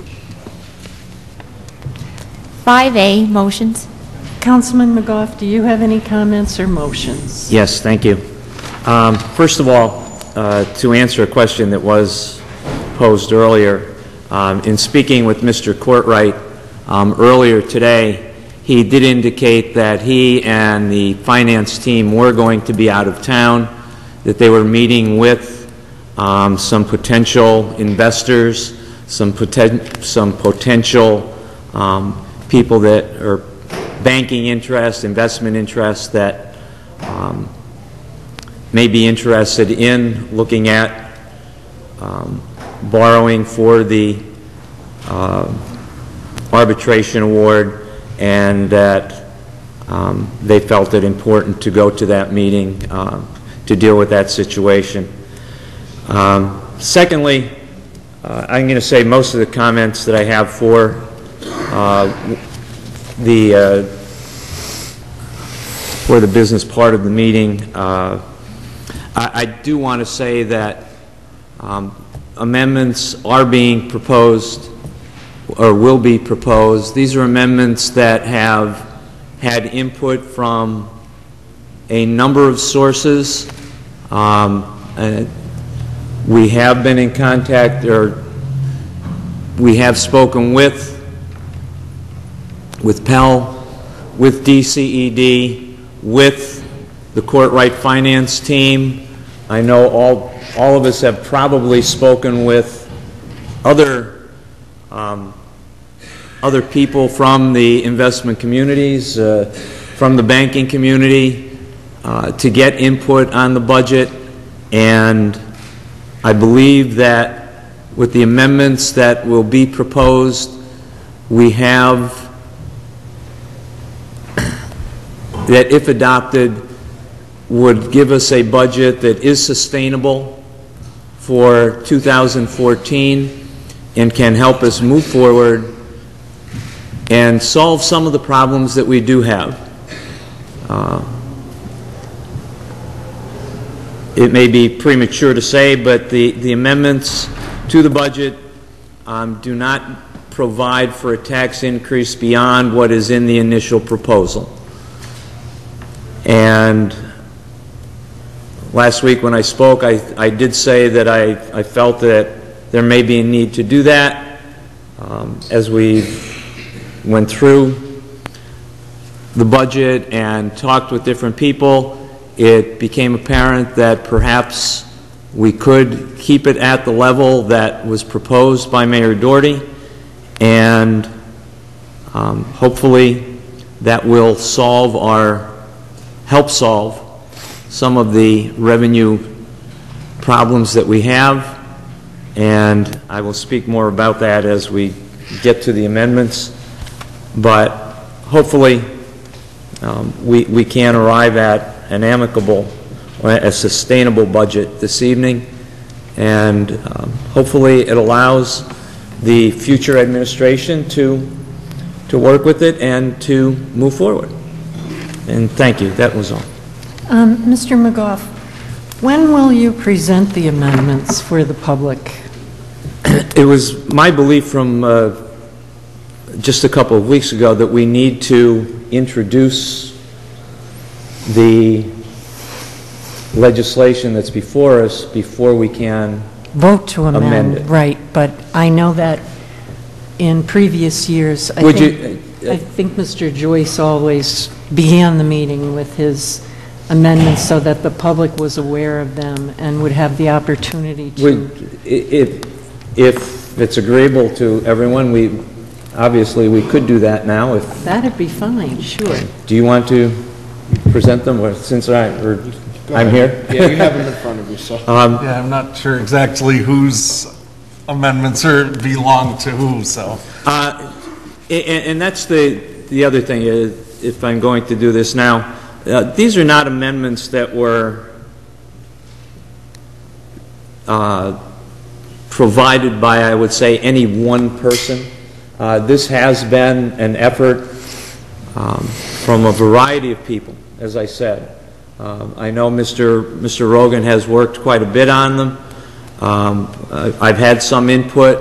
Uh, I know Mr. Loscombe has had some input uh, with Mr. Rogan, and, and again, we have had input from um, the Courtright Finance Team and others, and to identify a specific, like whose this was, uh, Yeah. I don't know that that's a possibility. It- There are things that we discussed at length in many cases, some things that we um, took from others, some that, you know, we may have disagreed with and were not put into the amendment. So uh, I would like to say that this is truly a- an amalgamation of ideas uh, and hopefully ones that can be supported.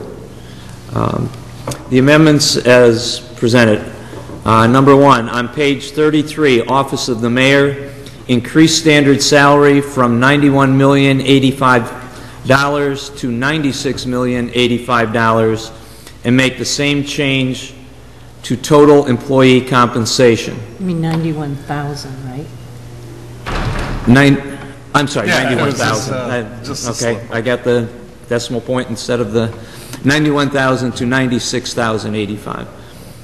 On page three, increase confidential sa- secretary salary from $31,085 to $36,085, and change the Department of Mayor total from 91,085 to 96,085. On page 42, decreased standard salary for the Office of City Council, City Clerk, from $219,290.96 to $214,290.96.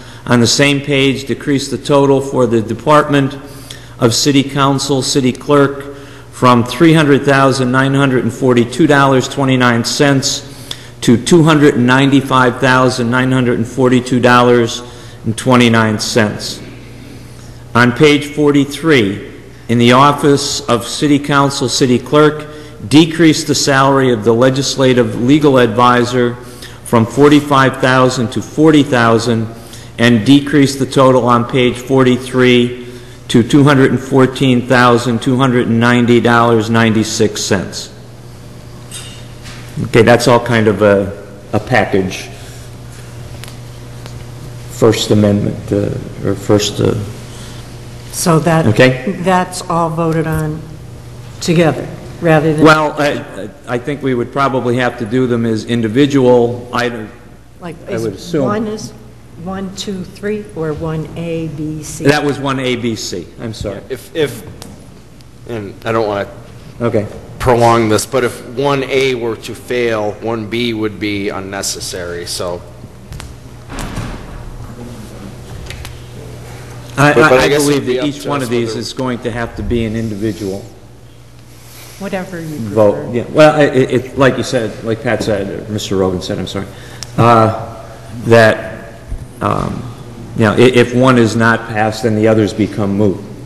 Uh, So, I think we just have to do them in order and move. Uh, Number two, on page 39, in the Department of Public Safety Bureau of Fire, increase the standard salary from $9,240,578.50 to 9 to $9,257,806.61, and change the in total, the total employee compensation from $21,605,138.99 to $21,622,367.10. Um, On the same page, make the same changes to the Bureau Fire total and change the public safety total and appropriate amount.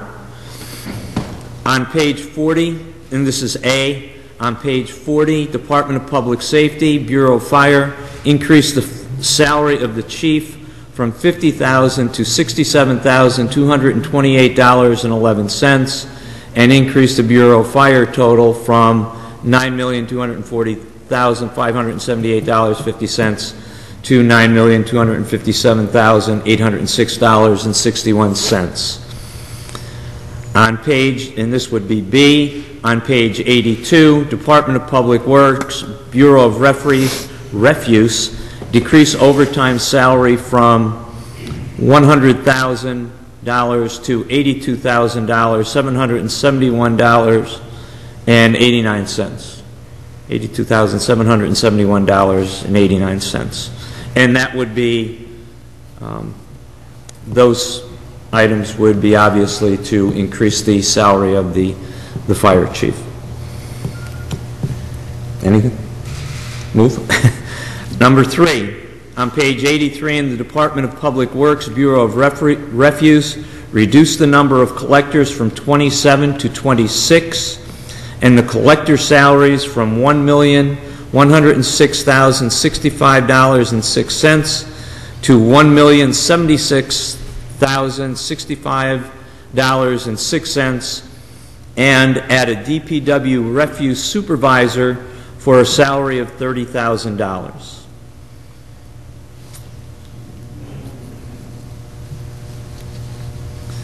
Number four, on page 62, in the Office of Economic and Community Development, eliminate the position of Support Service Specialist part-time and decrease the funding of that position from $23,824 to zero, and decrease the Bureau of Administration total at uh, an appropriate amount.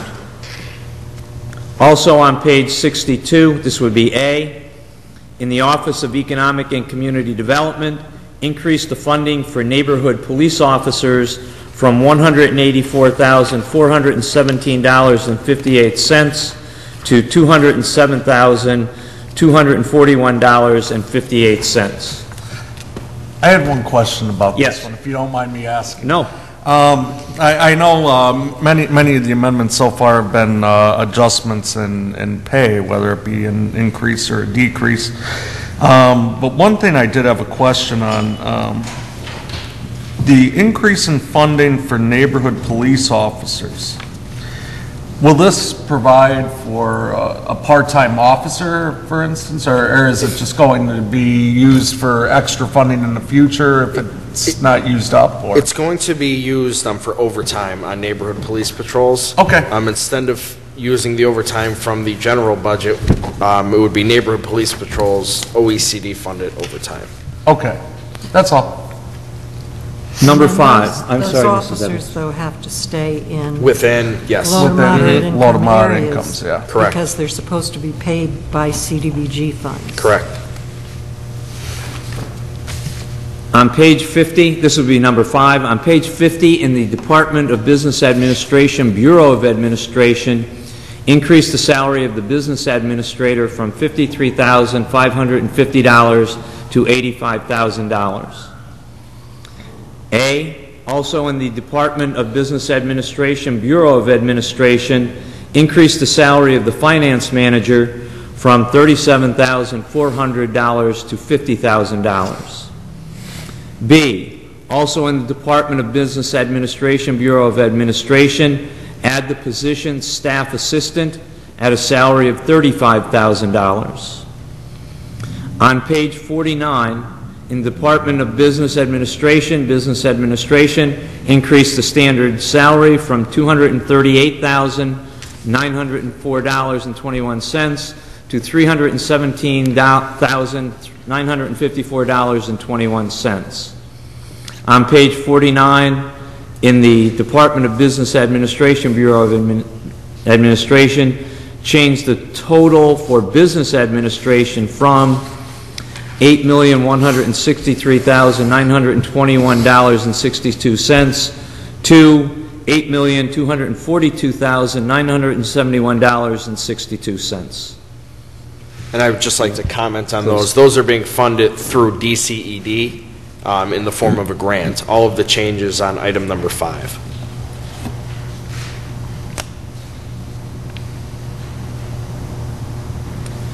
Anyone else?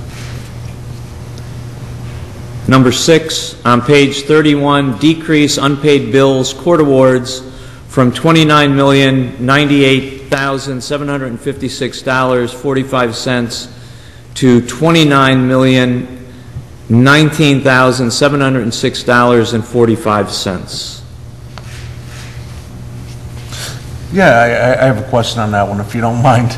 Um, was there, uh, a specific award that won't have to be paid out, or was something calculated differently, or?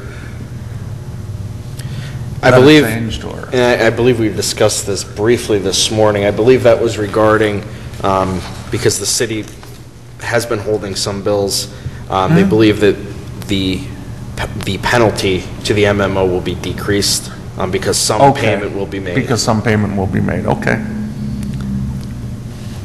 And the final one on page, uh, number seven, on page 24, under rents and concessions, insert an account for cell phone tower leases for $18,000.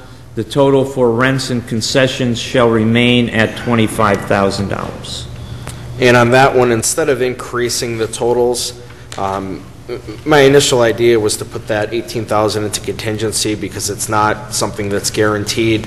Um, I did want to put it in the budget, and the company that I've been working with also would like, also wanted to see that in the budget. Um, So by not increasing the revenue or, or using that money anywhere, if it doesn't, if it isn't realized, um, there would be no harm on a, on an additional line item in the budget. And if it, if it comes in, then we will either be over budget on that item, or it can make up for um, another deficiency in rents and concessions. Um, If we could jump back to item uh, three.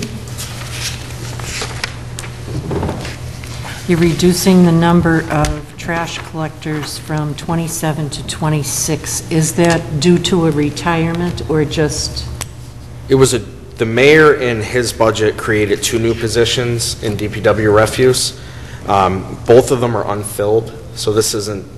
so you're just cutting one? We're cutting one of the two um, new positions the mayor included. And the refuse super- supervisor, that's a new position? That's funded by removing the funding for the collector, and that's also why we believe that the DPW overtime can be reduced by having a supervisor um, to monitor the refuse collections.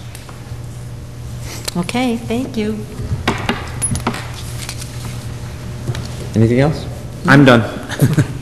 Thank you, Mr. McGoff. And Councilman Rogan, do you have any comments or motions? Yes, should, um, actually, a question before that. Should I continue with my normal fifth order, um, or should we allow the public to comment on? Well, I think we'll go through Okay. our uh, fifth order, and then I, before we vote on uh, the amendments to the budget, we can ask for citizens' participation Okay. once again. Great.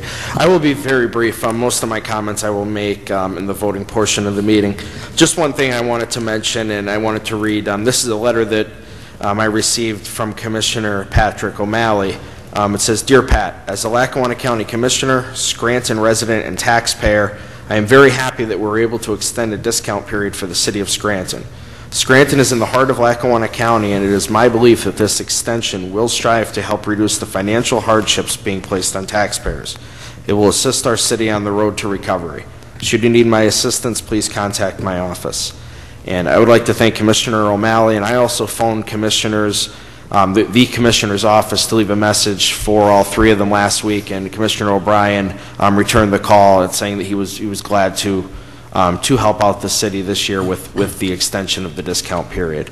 Um, That's all for now. I'll address um, our two big agenda items um, when it's time for a vote. Thank you. And Councilman Loscombe, do you have any comments or motions? Yes, thank you. Uh, I didn't realize coming in this evening it was our last meeting of the year. Um, So I really didn't have a speech ready, but I do want to, Well, we'll have, we'll meet again in January.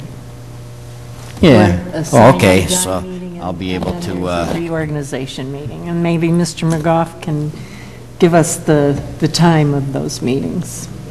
I believe in the past that, if I'm not mistaken, the sine die was at 10, 10 o'clock? I, honestly, I don't 11? recall. Uh, Jamie is, I'm- thank you. Um, 11 o'clock, and then, um, then the sub- the the installation or whatever, swearing in would be an hour later, or half an hour, whatever, at the end of that, that meeting. Okay. Thank you. thank you. I- Is that, uh, you know, we probably should, i- is that a- an acceptable time? uh, Yes. For people, or, you know, do we want it at 10, or do, you know, I- do we? I would just hope that our, the council swearing-in ceremony is complete prior to the mayor's swearing-in ceremony, um, which I believe will be at City Hall this year, um, not only for logistical purposes, but so council members can attend um, the mayor's swearing-in as well. But And what time is that? I believe that's That's at noon. Well, um, Could we have the sine die at 10? mhm. Would that be acceptable? Would That, Mm-hmm. Well, there you have it, Mr. Loscombe. Thank you. have another chance. I do want to thank you for all you've done, so I will have a little more to elaborate on that uh, at that meeting. Thank you. Um, I guess I'll, I guess I'll just uh, briefly address the budget at this point, because I don't know when we're voting how we're going to go about that. But, um, you know, we had a few speakers here tonight that, that had some valid points. Uh, Mr. Miller, he summed up the opportunity of missed revenue through our revenue sources that we've developed over the past few years, which could have put us in a, in a much better position at this point. Um, Mr. Elman, he hit a nerve too that, that's close to me in that uh, whenever something like this comes up and, it, and it's showing again in the news media, particularly the printed media, that the blame falls back on the police and fire departments for this. This was a Supreme Court award. And we forget that we negotiated with the police and firefighters after that award and were able to reduce it by $15 million. That goes forgotten. But all we want to do is look at the hard, the hard end of it. But the realistic part of it is that there could have been, agree- there were agreements made many times through the past several years that would have been far less than what we're going to be paying out now. But the blame continues to go that way because it's easy. That's the easiest way to do it. But I think there's enough smart people here, as Mr. Elman mentioned tonight, that realize where the blame goes to. So I just wanted to clarify that. Um, I mean, we're, I've, I've been pretty much anguished over the past several weeks trying to work on a budget. And I've had a lot of situations in the past few weeks that have kept me away from a lot of this. Um, I haven't been able to get into it as much as, as my colleagues, and I do appreciate the time that they've put into it. And um, the meetings, I, I, there was a couple meetings I was invited to that I was unable to attend, but I did meet a few. I, I met, I have met Mayor-elect Courtright. I have also met uh, Mayor Doherty.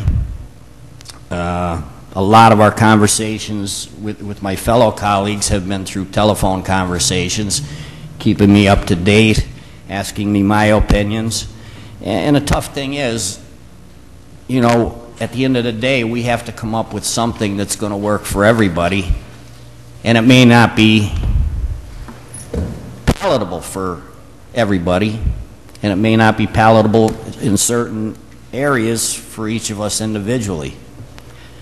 Uh, you know, this, this council, as it was stated before, I think it was Mr. Quinn, uh, stated how uh, Mrs. Evans has stated over the years where we're, he- where we're headed with this runaway spending and, and, and stuff. And again, I know that we've all tried hard over the past few years to limit any increases in taxes and, uh, and so forth. But the fact is, we're at the edge of the cliff right now, uh, looking over the cliff. And I personally don't see any other alternative um, at this point other than a tax increase to get us back in, in uh, position. I know it hurts a lot of people, and, and, and I would hope everybody can make it through this. We have to make it through it together. We missed the opportunity on a commuter tax. Uh, again, there's a lot of missed opportunities. We missed opportunities on pursuing pilots. So all this goes into effect, not for lack of our trying, but we have to pass a budget that's going to work. And the biggest obstacle we have are the court awards at this point. And the obstacle placed in our way with those court awards and, uh, as we saw with our TAN, is that the banks won't even speak to us unless we could show that that borrowing is covered. What are we going to do? It's not an easy solution. I know people get scared when they hear 56% or whatever uh, on their property taxes. It is a scary number. The fact is, that 56% is a portion of your tax bill. And, I, and I've explained this before, you know, for anyone that's interested. I- I- Just say your, your taxes are $1,000 a year, your combined taxes. That doesn't mean you're going to pay another $600. Probably 21% of that is your city tax. The smallest portion right now of your tax bill of the three taxing bodies is your city tax. That's the portion that, that would be increased under this budget. Not the thousand dollars, but roughly twenty-one percent. It, it, varies twenty to twenty-five percent on, on most properties. But, um, that's what we're looking at. Yep, we're looking at several hundred dollars a year on that. But you know, it's still cheaper than your cable bills. Still cheaper than cigarettes. Your cable bills are $100 a month. There's, there's not a lot of people paying $100 a month in city taxes on their property. City portion. That's correct. You could go on a Lackawanna County site and you'll see there's people paying three, four hundred dollars a year. We have no other, no other alternative at this point. Nobody came with a magic wand and said, we're going to give you $5 million, $20 million. And if you don't believe how anguished I've been, and, and I know my colleagues, we'd love to be able to reduce your taxes. Hopefully, if we get through this year and get this, this resolved, we'll be able to, uh, with with the, with the new administration, that I had specifically, personally asked to go after the revenue sources that we have uh, put together, to go after the pilots, to go after the back taxes and garbage fees, all of this that have been left on the table for these past few years. If we get aggressive with that stuff, it's going to be a benefit to all of us. But uh, to tell you I'm not sick to my stomach, I'd be lying. My family has seen me, and and I'm sure the rest of my colleagues. To give a 5% tax increase is sickening, but to, to have to go where we have to go in order to meet our obligations, we'll get the blame, but we didn't create it. And we're making, paving the way for whoever comes in next. These decisions aren't easy, they're hard.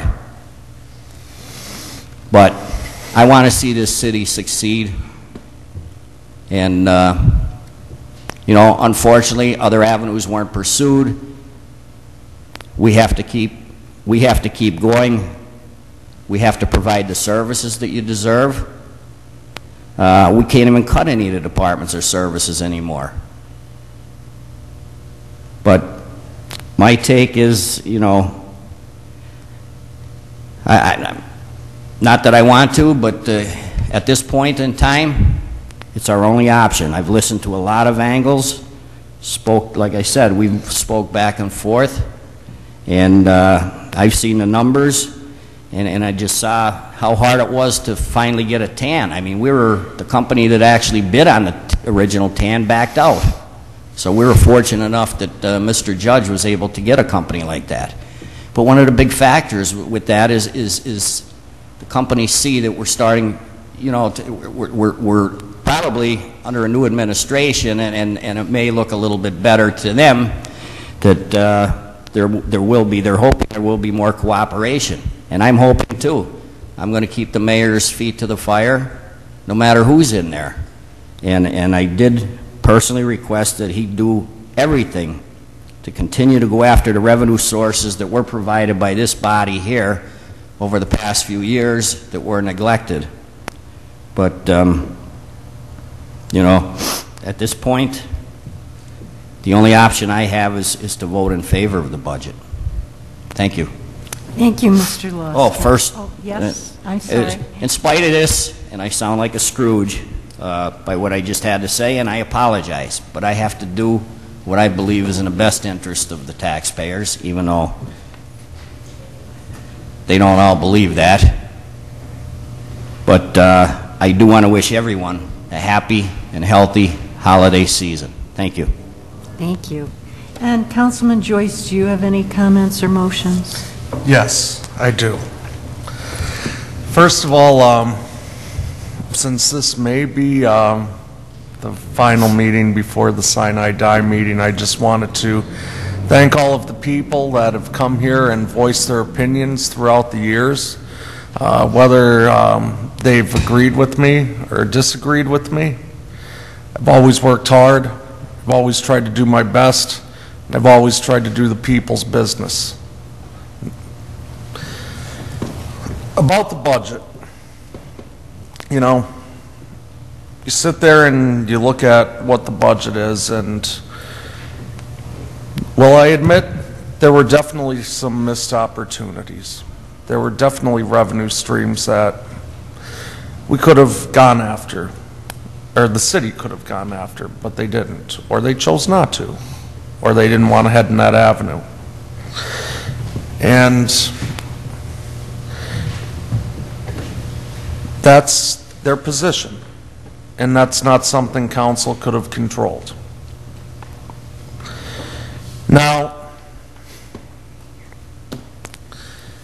I want to give credit to my colleagues, Mr. Loscombe, Mr. Rogan, and Mr. McGoff for putting amendments together. I'm sure that they've, and they, they've said that they've uh, spoke to different members of DCD, PEL, uh, Mr. Courtright's finance team, and that's admirable. Uh, You know, that's, that's putting in due diligence. But, you know, when I look over um, most of the amendments,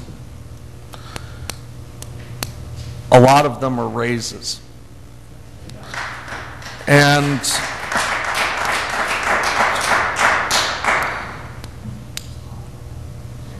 when I first became a member of council,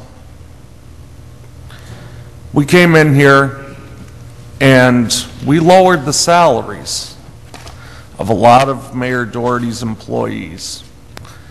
Some people thought, oh, they're just doing that to be vindictive. I wasn't doing it to be vindictive. I was doing it to save the people money. And to go back and say, well, you know what? There's a new mayor, a new administration, and that some of these people deserve to make more than what Mayor Doherty's people in those same positions made, I think is wrong. I think we can't do it. Now, there's some amendments that I do agree with, and I'll discuss those later.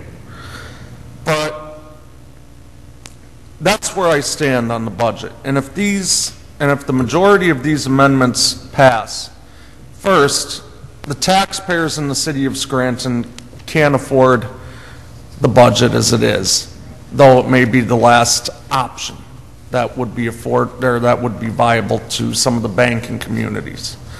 So I'll be honest with you. There should have been more done to get that tax increase lower, or to eliminate part of that garbage fee increase.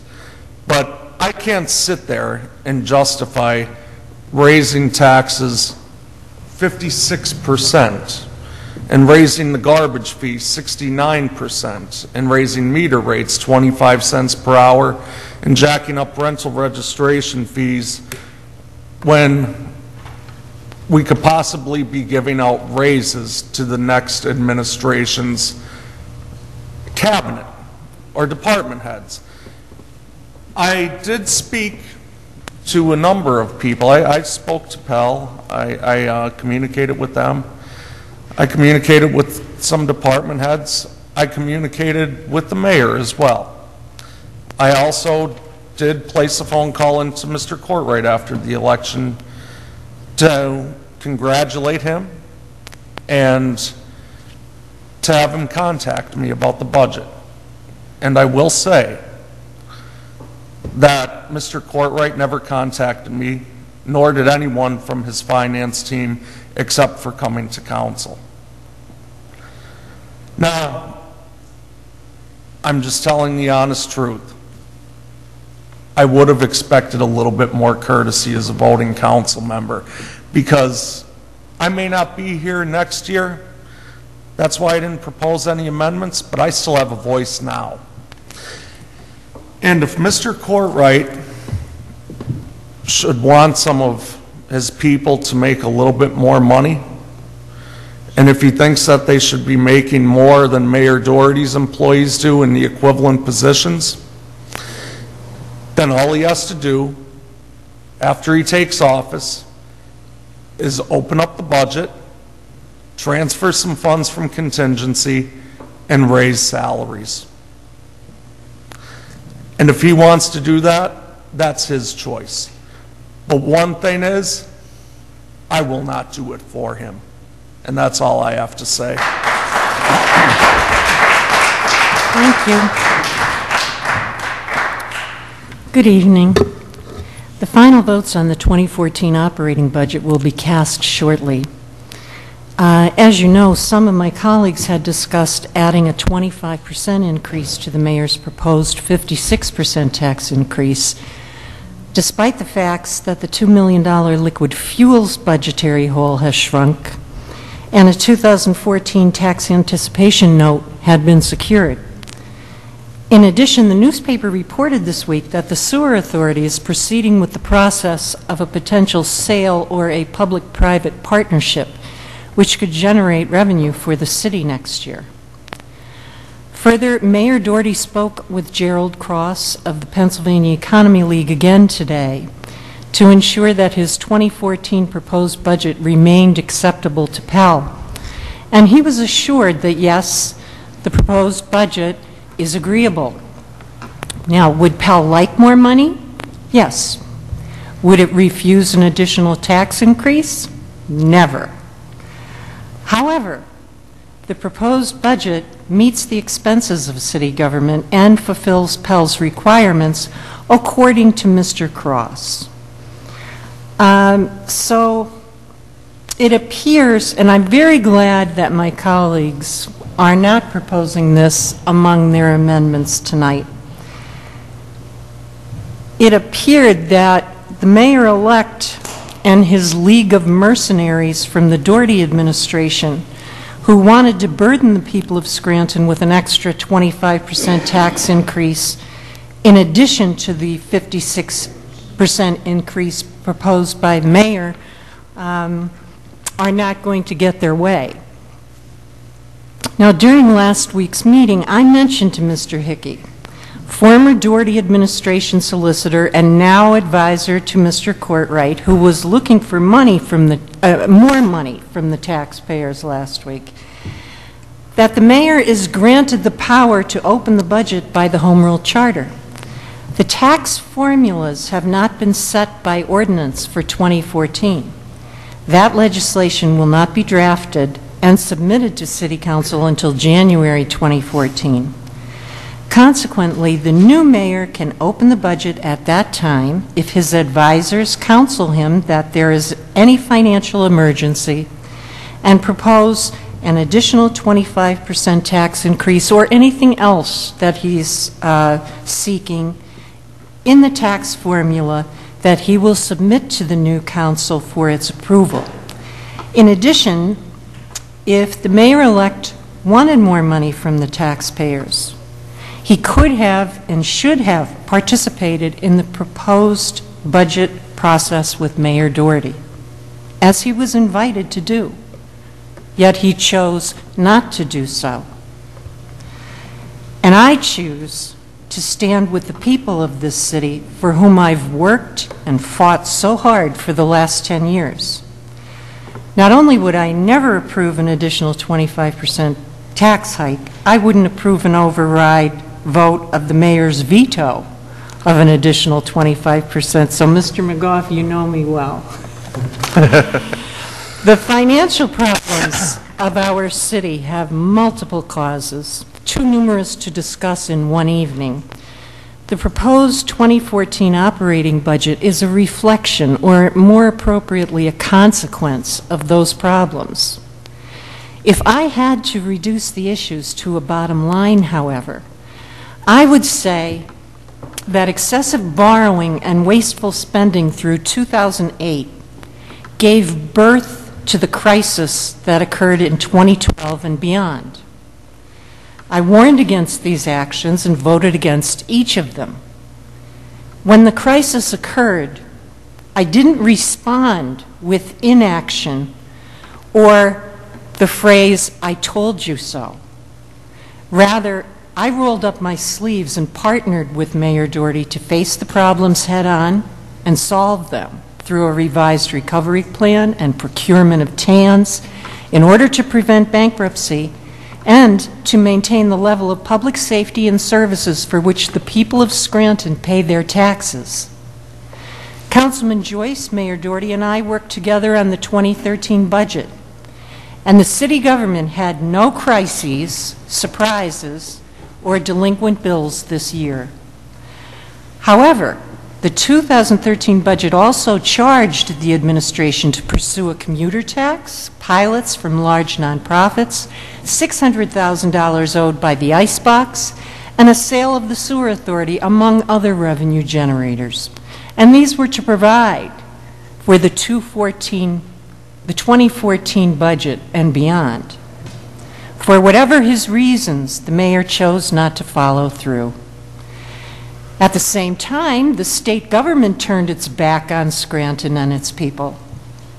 After leading the mayor to the Supreme Court to fight the state's own war against municipal unions, it left the mayor, this city council, and all city taxpayers with the bag of bills.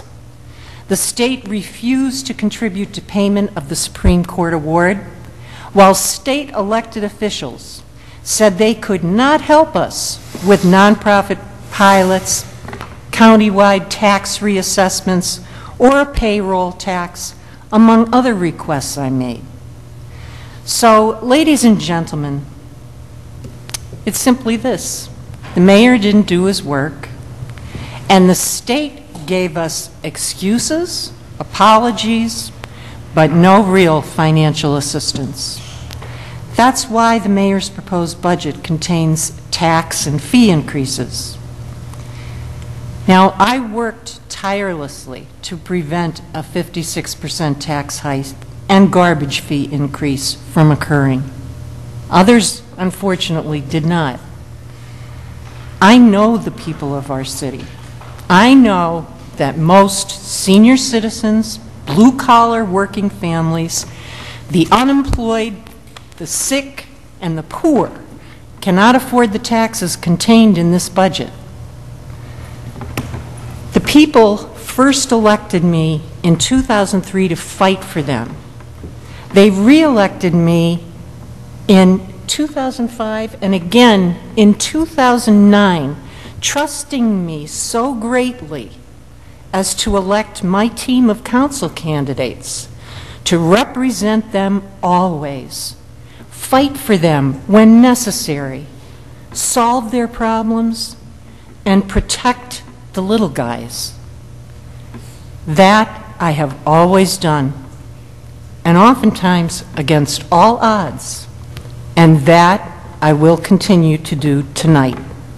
Merry Christmas to all of you, my friends. That's it. 5B, authorizing the issuance and sale not to exceed $17 million principal amount, tax anticipation anticipation note of the City of Scranton, known as TAN Series 2014-A, awarded to IFS Securities, determining the form and term of said note, awarding said note, authorizing and directing the filing of certain documents, and directing the proper officials of the City of Scranton to take any and all other actions as may be required in connection with the issuance of said note. Emergency certificate attached. If they need it, they get it. At this time, I'll entertain a motion that item 5B be introduced into its proper committee. So moved. Second. On the question? All those in favor of introduction signify by saying aye. Aye. Opposed? The ayes have it and so moved. I Think I could take this home with me, Mr. McGoff?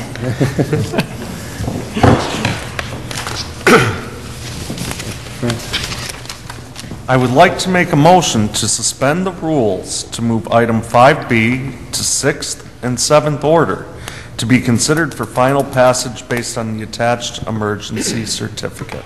Second. On the question? All those in favor signify by saying aye. Aye. Opposed? The ayes have it and so moved. At this time, if anyone would like to address council on the emergency TAN legislation, you may do so.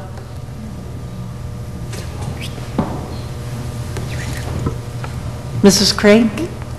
6A, formerly 5B, reading by title, file of council number 56, 2013, an ordinance authorizing the issuance and sale not to exceed $17 million principal amount tax anticipation note of the City of Scranton, known as TAN Series 2014-A, awarded to IFS Securities, determining the form and term of said note, awarding said note, authorizing and directing the filing of certain documents, and directing the proper officials of the City of Scranton to take any and all other actions as may be required in connection with the issuance of said note.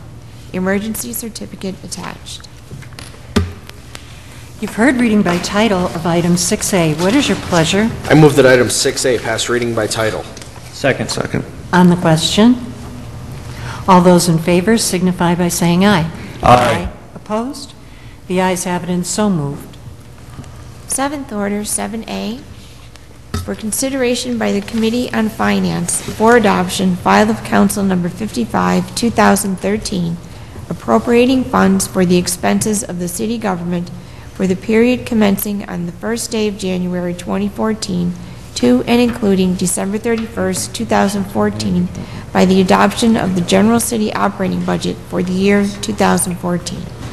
Before Mrs. we take a final vote on this, I would ask the amendments to be presented. Well, I was just going to make a motion. Yes. I'd like to make a motion to amend um, file of council number 55, 2013. Second. On the question? All those in favor signify by saying aye. Aye. Aye. Opposed? The ayes have it and so moved. Um, As said before, I I believe that it will be necessary to make these as individual motions, and so for each of the items that was mentioned before, I will make a motion for each one, and we will vote if if that's to your approval. I would prefer that, too. Uh, Unless, I think what you were saying before is if something were not approved, you... It would make them move. Uh, Okay. we could- Then that's fine. Will we take the public comment prior to voting on the motions? Yes, I think that would be a That would be idea. probably Yeah, I appropriate. think that would be proper pursuit. If there is anyone who wishes to address council concerning the budget amendments, please do so now. Good evening again, Council. Doug Miller, Scranton. Um, Obviously, yes, I do want to comment on Good the uh, evening. budget amendments. Good evening. You know, I, I don't know what to say anymore. I really don't. Um, After coming down here for all these years, um, I'm just totally uh, baffled by, uh, you know, what I heard earlier this evening, um, that we want to in fact call these amendments. Um, I think this is the lowest form that we could possibly do to the residents of this city. What we did here this evening, what we're attempting to do here this evening, is, is very simple. It's not complex. There's nothing complex about it whatsoever. Nothing was done to protect the residents of this city. All we did was increase salaries and create jobs. Something that Mrs. Evans and her majority have been fighting against for the last four years. Particularly Mrs. Evans fighting against it for the past 10 years as a councilwoman. And I think it's a total insult and lack of regard to the residents of this city. And I'd say that we, you have failed, those that have created these amendments, you failed in your obligation to look out for the residents of this city. You did not propose one thing that benefited the taxpayers. We didn't do anything to lower the tax increase. We did absolutely nothing to reduce the garbage fee. We did absolutely nothing to reduce the rental registration fee. We did absolutely nothing to reduce the meter rates. All we did was yet again look out for our political friends. I guess this is what we call back on track. Uh, you know, that's what we heard all summer long, that we were going to go back on track. Well, if this is back on track, the next four years look pretty darn bleak, let me tell you. And I totally lost any faith I had for the next administration. And if this is the sign of what's to come with the next council, we're going back to another rubber stamp council. And I'm losing faith in that. You have an obligation and a responsibility to look out for what's best for the residents. You know, looking at these amendments here, there seems to be all this money where we have the ability to increase salaries and create jobs. Well, if that's the case, why wasn't anything done to decrease the tax increase? Why wasn't anything done to lower the garbage fee? And why wasn't anything done to lower the rental registration and everything else that was proposed in the mayor's budget? Don't you care? You know, I, I, come up here and I think about the senior citizens, okay, the elderly, the hardworking blue-collar people of this town, okay, the people that struggle to get by day to day, okay? That's who we need to be looking out for. Not who do we owe a favor to, who can we create a job for, whose salary can we, increase. It's what got us into the, this position that we're in today. But evidently, we don't comprehend that. We keep going down the same tired path of politics. And nothing's going to change, obviously. We're just going to continue to go down this road. Because you know what? You, with these amendments, you're showing that you do not care. And if this budget passes tonight, you're sending a message, a signal across this city that you have a complete disregard for the hardworking people of this city. And I just wish they were here this evening to, uh, you know, staunchly oppose what you're trying to do to them tonight because it's not fair. And Mrs. Evans, Mr. Joyce, I ask you to stand by what you've always done, the right thing, and vote no to this budget. You too, Mr. Loscombe, and vote no to this budget, and vote no to the amendments, and put the people first, because that's what you ran on. Until you leave office January 6th, stick to that. Forget being bullied, forget doing the dirty work for an administration that they're cowards. They don't want to come forward and do the job themselves. They want to use their mouthpieces that they have up here to do it for them, and it's not right. This is about the future of this city, and if you want to continue going down this road, there isn't going to be anything left to save. We talked about being on the, the edge of the cliff. You pass this budget tonight, we basically might as well all jump off, because it's over. Thank you. Thank you. Thank you. Thank you.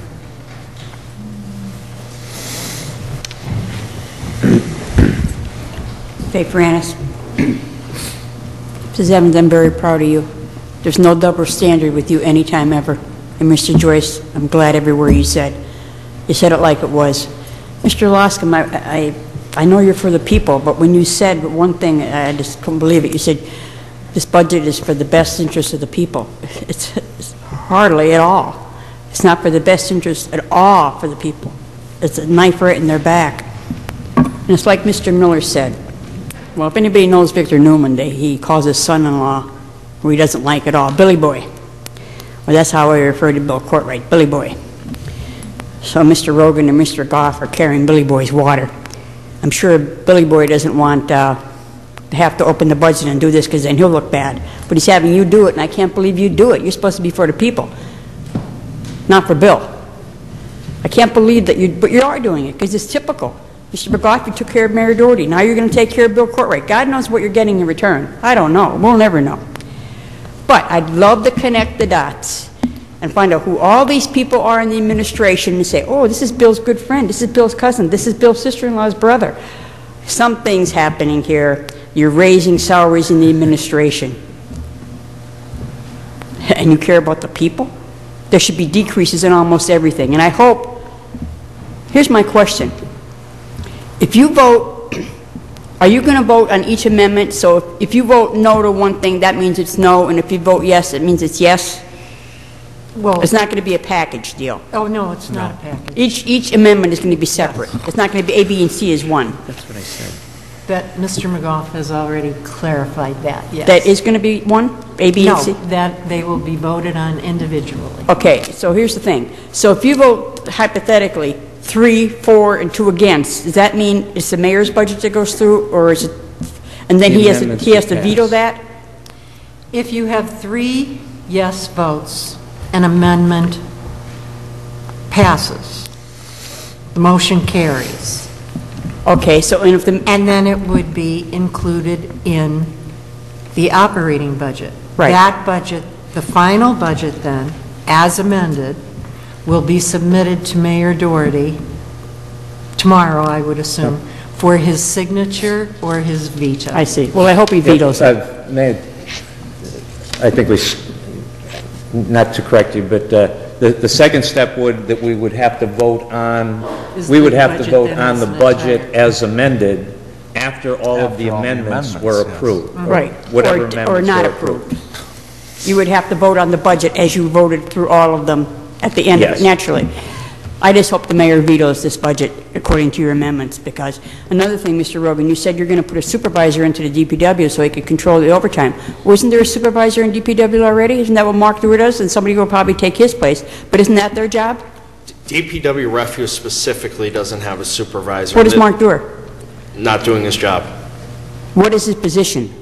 He's, he's a DPW supervisor. Okay, so now you're creating another, so isn't somebody going to take his place? He's the director, actually. Well, Well, if he's the Mr. Dewar is director- the director. That's his, if you, aside from the point he's not doing his job, so somebody's going to take his place as director. That's Another supervisor that you're going to put in? Minus one collector. Um, No, but plus a- a director plus a supervisor. The, the director will, s- there's always a director of DPW, there's no change in the Okay. director. The supervisor will be supervising DPW. That funding is coming from the elimination of a collector. I know that, but why would you have a supervisor if you have a director? Why would you need a supervisor? It's like having two bosses. Well, in, th- this one for me is something that I, I've, I've seen a lot of problems with in the DPW well, refuse Then thing. maybe you should just get a good supervisor, a good director that will take care of it. Why have two people do the same job? If the director is not doing a good job, then you get someone that is. You Well, don't create a position to have, just because the director is not good, make another position. Well, the director is in charge of the entire DPW. Uh, well, the highways, director should take parks. care of the overtime. He shouldn't have to have another supervisor doing the work that he should be doing. You're certainly taking care of somebody. I don't know who that person is yet, but when this, all these names are brought up, we're all going to know who's who and who knows who and why they got this job. And you cut salaries of people you apparently didn't like and raise some person the one you wanted to get in there. What you're doing is a disgrace. And I hope, I hope that Mayor Doherty vetoes this budget. And thank you, Mrs. Evans, and thank you, Mr. Joyce, and Mr. Loscombe. I hope you stick with the people like you always have. Thank you. Thank you. Thank you. Uh, Good evening again, my name's Jay Walsh. Uh, Mr. Loscombe, let me give you a heads up.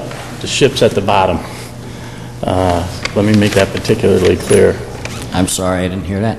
I said, the ship is at the bottom, okay? Let me make that perfectly clear, okay? Uh, It's a slow train wreck.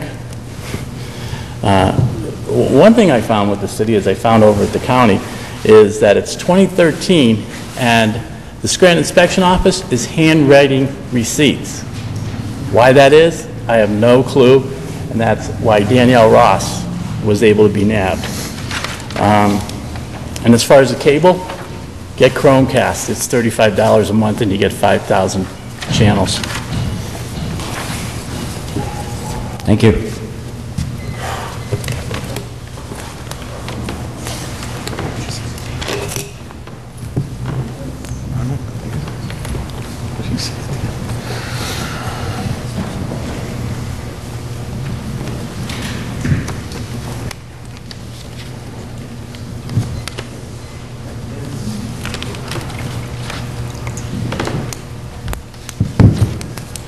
Uh, First, I'd like to ask Mr. McGoff, uh, what are the total um, increases in the budget? I did not add all of the increases together, but the, the dollar amount of the total budget does not change from what well, I understand you're proposed. switching money back and forth, but if you, if those require, if the things that you're taking money from are not really required, then that could, that money could have gone, to have been taken out of the budget and been used to reduce the principal amount of our debt and start working on our debt service and getting that down, or could have taken some of the tax burden away. Granted, not a lot, I would prefer, pref- yeah, prefer that it would reduce some of the debt. But um, If I could answer on, on a couple of those points. um, I only made one. Um, Regarding the, the salary increases, um, these funds are being provided from the state. We, we unfortunately can't use those for anything else other than, um, other than the, the business administrator's salary, the addition of a position in the business administrator's office. Now, wait a minute, we pay state taxes too. And it's not coming out of some pot of money that fell out of the sky. No, you're absolutely It's coming correct. from the taxpayers. DCED wouldn't have to send it to us if we didn't have to do this. I'll tell you, I- this is the difference, and I know most of you have worked in, in government over your life. This is the biggest difference between government and private industry. Only in government does government stand on the brink of bankruptcy and proceed to increase positions, add, give people salary increases, and, and just in generally act as though there's a bottomless pit. When you're in private industry, if you keep raising your, your, your, the cost of your doing business, your, it goes into your product. It's got to. And people stop buying and you go out of business. When you're in government, all you do is this is this poor schmuck called the taxpayer. And all you do is say, oh yeah, well, we'll spend whatever we want. And then when we get to the bottom line, if it doesn't balance, we'll do whatever the heck we want and just put it on the backs of the taxpayers. This is, this is very, very disappointing. Now, not all, I understand that the mayor, the new mayor, will have discretion to appoint his uh, administrators, but that does not extend to all of these positions, I wouldn't think, that you uh, people are intent on adding. So would you please tell me which of these will be advertised for vacancies? City council doesn't hire or fire. Well, but you, you've you've been working with the, with the mayor-elect, you said. Well, that's, you'd have to ask him whether they'd be advertised. Council only Well, hires it's- a solicitor and a It's clerk. too late. I mean, I can't imagine that a a refuse collector or a refuse supervisor would not be an advertised position, and I would certainly hope that Mr. Courtright would do that. And when did we get this grant from DCED? I don't remember council voting on it. Um, This is actually the exact same process that the city followed last year. Um, We received a commitment from DCED to fund, I believe last year was two positions in the business administrator's office. Um, The city had to budget the money, and then as, the when the grant comes in, the positions are filled. If the grant was not materialized, um, if DCED broke their word, um, then the positions would When remain was it, unfilled. when did, when did the city apply for this grant? I'm not, su- I wasn't involved in the application process. Um, I'm not sure when the application was put in, but it was the same process that the city went through last year. Well, I I certainly will be, uh, what is the name of that grant? I, I don't have a grant name. I could get more information for you on it, um, but it is, it's, Well- this isn't anything new. It's the same thing that we did last year. And? I I don't know I- I have- why making it If you want, I could read the the memorandum, the memorandum we received from PEL um, now about the current Yes, I would like a situation in the copy of VA's that, if you office. please. Sure. Yes, I would like that. And I would also finally like to repeat my concern about the folks who have a lot of equity in their homes and, uh, and stand to lose it, and there is just something the matter with the budget that passes. You made all kinds of amendments, and you are willing to accept the fact that you are going to get the same collection rate this year as you got last year with a 56% increase. That's ludicrous. You're not going to get it. A lot of people are going to suffer, and a lot of people are going to suffer needlessly because they're elderly and they have nobody to help them, and they're going to have the entire equity, the thing they worked for, the American dream, ripped out from under them, and I can all, all, I can just, if we didn't have a ceiling, I could see the vultures circling. I'm very disappointed. Thank you. Thank you. Thank you. Um, Mr. Rogan, you just mentioned a letter from PEL or an agreement or something. Yes. Um, I don't think the rest of council received it. Um, I believe I received this at a meeting with PEL that was um, a couple weeks ago. Um, To sum it up, basically, the the recommendations are, um, based on our analysis, we make the following recommendations to the staffing and struct- structure of the Office of Business Administrator. Establish the salary level of the business administrator at a level that will attract a qualified candidate. Raise the salary level of the finance manager in order to recruit a qualified candidate. Add a staff assistant position to the business administrator's office. Continue the use of college-level interns to assist in audit documentation prep. Um, Further goes on to say, um, during 2011 and 2012, the business administrator's office was unable to accomplish the required home rule charter core functions of its financial management. The 2010 audit was not complete until early 2012. The 2011 audit was completed by the end of October 2012. Several areas of responsibility have been performed by other organizations. For example, the Act 47 Coordinator has worked closely with the city throughout 2012 and 13 to prepare the city's monthly cash flows, and the city's financial advisor had to prepare for some city documents related to the 2012 borrowings.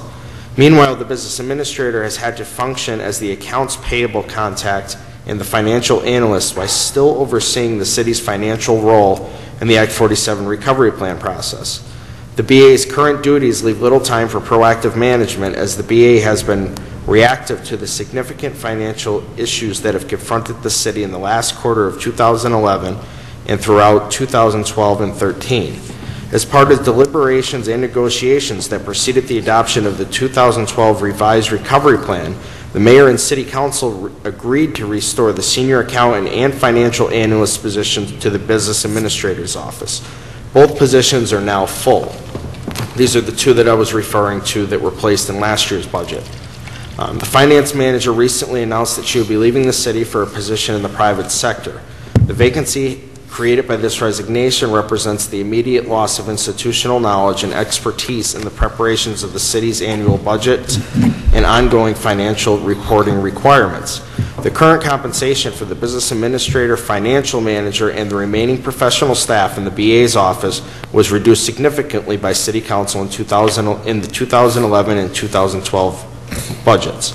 The BA's salary was reduced from 85,000 to the current 53,000, and other salaries received similar deductions. The city will have considerable difficulty attracting qualified candidates for the business administrator and financial management positions at current levels. The BA in particular has extensive responsibilities and is the city's contact person with the financial institutions and capital markets.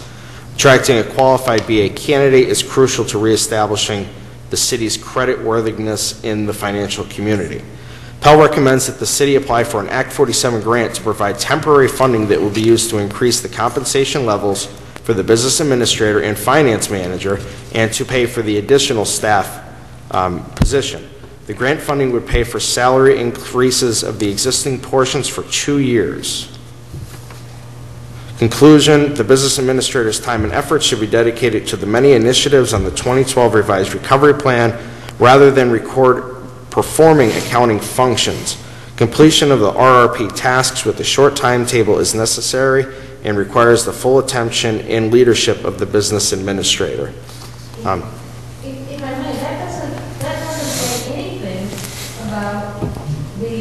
positions that you're adding. There are only two positions being added.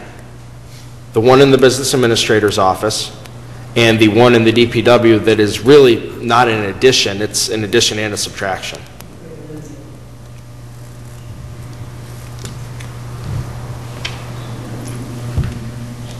Is I is guess that letter date? November 27th, 2013. Well, it was, I'm glad you, you know, shared that with us because it was, um, certainly right in keeping with um, PEL's policies to selectively disseminate information. Um, Mr. Dobson, did you want to speak? First of all, uh, that bell always, this, I did wish to express uh, that I'm going to miss this council. And even when you disagree, I'll still miss you. You know, so uh, thank you, Frank, and thank you, Janet. And um, a suggestion on the uh, refuse coordinator. Uh, um, I certainly hope that things turn around because years ago we had people in foreman spots at the DPW and it was my understanding, it was only hearsay from somebody I worked with, but it, they were supposed to, uh, supposed to uh, coordinate recycling and so forth and basically I don't know what their job was, counting paper clips or whatever, uh, but certainly we have no coordination. We have no, uh, no uh, discipline as far as the way people toss out their garbage. Uh, I had Mr. La- Councilman Loscombe up to see somebody several times, and the person still throws the trash out the same way, which is a total mess.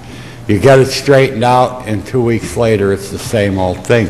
And with uh, uh, somebody that would supervise something like that, if they would do their job, it would be an asset. Uh, If they don't do their job, then it's a waste of money. And thank you for your service, and uh, have everybody a Merry Christmas. Thank you, and Thank Merry you. Merry Christmas Christmas to you as well. I think we can begin.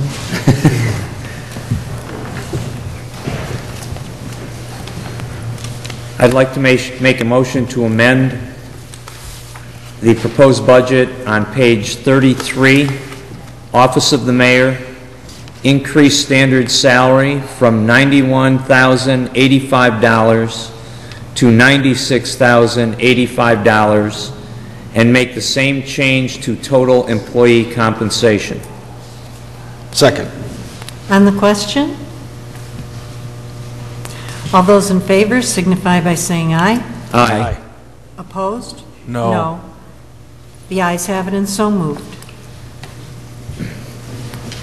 I'd like to make a motion to amend the budget on page 34, proposed budget on page 34, increase confidential secretary salary from $31,085 to $36,085, and change the Department of the Mayor total from $91,085 to $96,085. Second.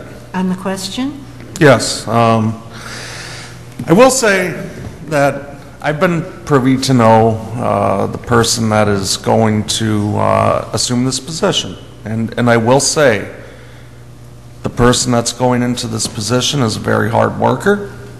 Do I think they're worth 36,085? Yeah, I do. But you know what? There's other confidential secretaries that are going to be in the administration. And I can't support saying the mayor's secretary is worth more than the secretary in the law office who will make $5,000 less.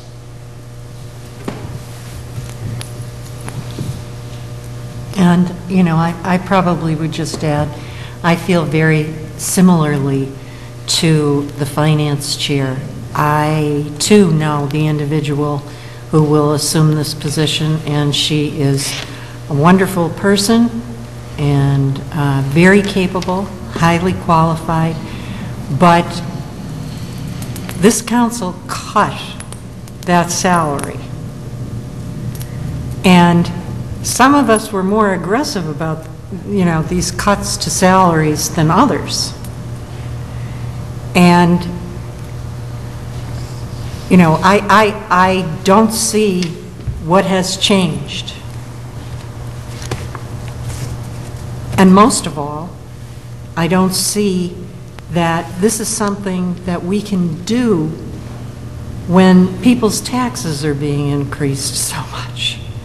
You know, we're, we're just adding insult to injury. Is there anyone else on the question?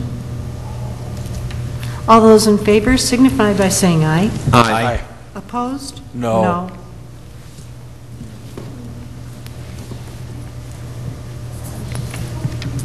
Mrs. Evans, may Oh, the I ayes have kind- it and so oh. Thank you. I make a motion to amend s- proposed budget on page 42, decrease standard salary for the office of city council, city clerk from $219,290.96 to $214,290.96. On the same page, decrease the total for the Department of City Council, City Clerk from $300,942.29 to $295,942.29. Second. On the question? Yes, this is the corresp- corresponding, the ne- this item and the next one is a corresponding $5,000 cut in a salary um, to balance item number one, the four parts. Thank you. Is there anyone else? Yes, I will say this. Um, Solicitor Hughes uh, earned $45,000 per year for his work here on council. And I will say this, he did one hell of a job for that money. He has broke his back doing legal work, doing research. He's done more than any other council solicitor, I think, has ever done. More, you know, more than, more than city solicitors do. But I will say this. I know that there are three people returning to city council. And, um, you know, I- I'd be hypocritical if I didn't say what is appropriate for Boyd Hughes wouldn't be appropriate for who they shall choose as well. So I just want to ask each of the returning council members if this salary adjustment is okay with you. Yes. is okay with, Yes, with whom you may want as your solicitor in the future. oh, did did the Because proposed if solicitor agree? Uh, Yes, no. because I feel if Mr. Hughes... Not that I know of. If Mr. Hughes earned 45,000, then I think that's what um, the incoming council solicitor should earn as well, unless they feel it should be a little bit less. Well, uh, in addition to that, Mr. Rogan mentioned, um, and quite correctly, that these changes are occurring in order to provide for the uh, increase in the mayor's office. And since I didn't approve of the increase in the mayor's office, I won't be approving of finding the funding to provide for that increase. Is there anyone else? All those in favor signify by saying aye. Aye. Opposed? Op- No. Uh, The ayes have it, and so moved. I'd like to make a motion to amend the proposed budget on page 43 in the office of City Council, City Clerk, decrease the salary of the legislative legal advisor from 45,000 to 40,000, and decrease the total on page 43 to $214,290.96. Second. On the question, all those in favor signify by saying aye. Aye. Opposed? No. The ayes have it, and so moved. I'd like to make a motion to amend the proposed budget on page 39 in the Department of Public Safety, Bureau of Fire, increase the standard salary from $9,240,578.50 to $9,257,000, or $257,806.61, and change the total employee compensation from $21,605,138.99 to $21,622,367.10.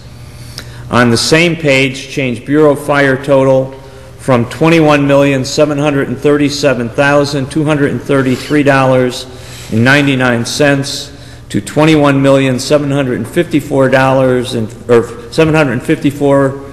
$754,462.10, and change the Department of Public Safety total from $44,115,646.12 to $44,132,874.23. Second. On the question? All those in favor signify by saying aye. Aye. Opposed? No. No. The ayes have it and so moved. I'd like to make a motion to amend proposed budget on page 40, Department of Public Safety, Bureau of Fire, increase sal- the salary of the chief from $50,000 to $67,228.11, and increase the Bureau of Fire total from $9,240,578.50 to $9,257,806.61. Second. On the question? Yes. I, I, I will say that this is one of the amendments that I will support because technically it's not a cut from what the, or technically it's not a raise from what the previous fire chief earned. I I just wanted to add, and I appreciate Mr. Joyce for that comment, that's pretty much what I was going to say. Um, And the fear of many on the fire department and, and the incoming administration is, even with the fire chief's salary at six, at the, um, the former level that Chief Davis made, Chief Davis makes less than the men under him, which is fine. And, um, you know, the next chief is going to have to work for, for the same pay that our current chief made. But by reducing that further, where it would come to, you know, where the point where a senior man in the fire department would be taking a twenty, thirty thousand dollar pay cut, it would make it almost impossible for anyone on the F- Scranton Fire Department to accept that position. And at that point, it may be somebody from outside of Scranton that would be needed that didn't know the procedures, and I know Mr. Loscombe wanted to speak on it. He knows this a lot better than I do. I think you guys have covered it pretty well. Thank you. Well, you know, I agree with what you're saying. But my one question is this: Why didn't Mr. Courtright work on the budget and make these changes, this change in particular? Does anyone know?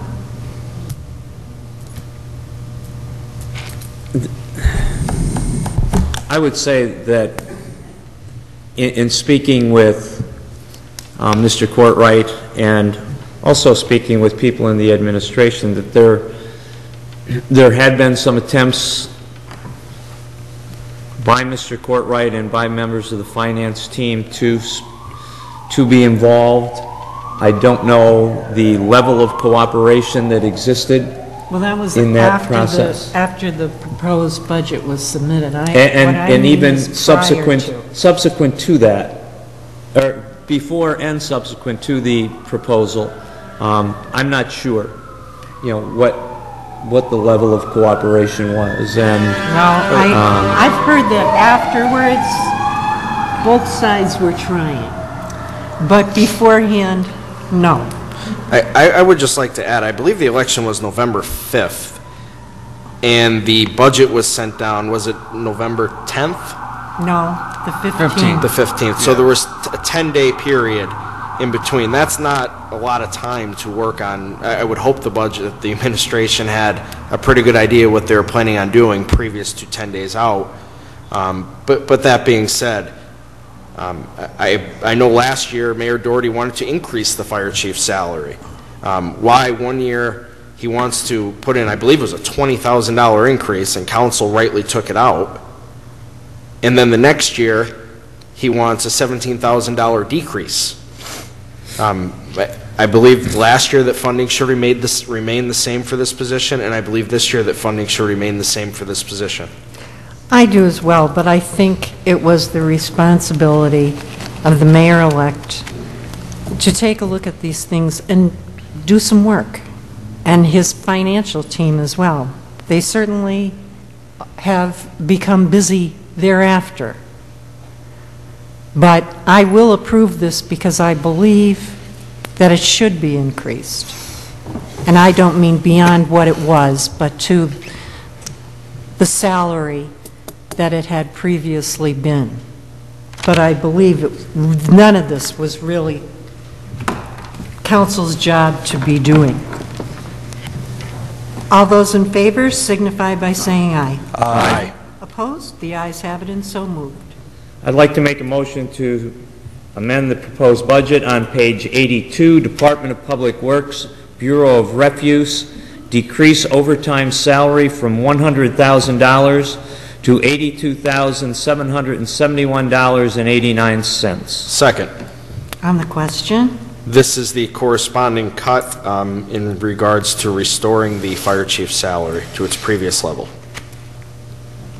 Um, Just out of curiosity, why is it the Bureau of Refuse? I, I know, and believe me, I know Councilman Rogan that They're not you're your very favorite. critical of DPW overtime, if No, I- anyone is. I- I am Could very- I answer it? Maybe it it Well- would be not as well- biased. Well, I, I, I think, I think I have a, a very good answer for it, and Okay. it's that, Okay. that we're, we're adding a DPW refuse supervisor um, with the hope that that will cut down on DPW refuse overtime. Okay. That was... Thank you. Anyone else on the question? All those in favor signify by saying aye. Aye. Opposed? No. The ayes have it and so moved. I'd like to make a motion to amend the proposed budget on page 83 in the Department of Public Works, Bureau of Refuse, reduce the number of collectors from 27 to 26, and the collector's salaries from $1,106,065.06 to $1,076,065.06. And add My apologies. and add a DPW refuse supervisor for a salary of $30,000. Second. On the question?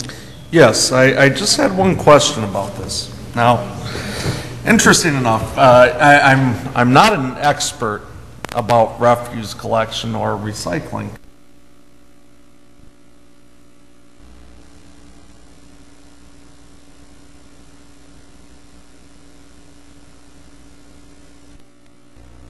To men or, or women, uh, who collect the garbage. And, you know, when they drive by my house to get the garbage, you know, one goes on one side of the street, another one goes on the other side of the street. Now, if we go to twen, now, if you divide 27 by 3, it would make sense that there's nine garbage trucks or or refuse uh, trucks driving around the city.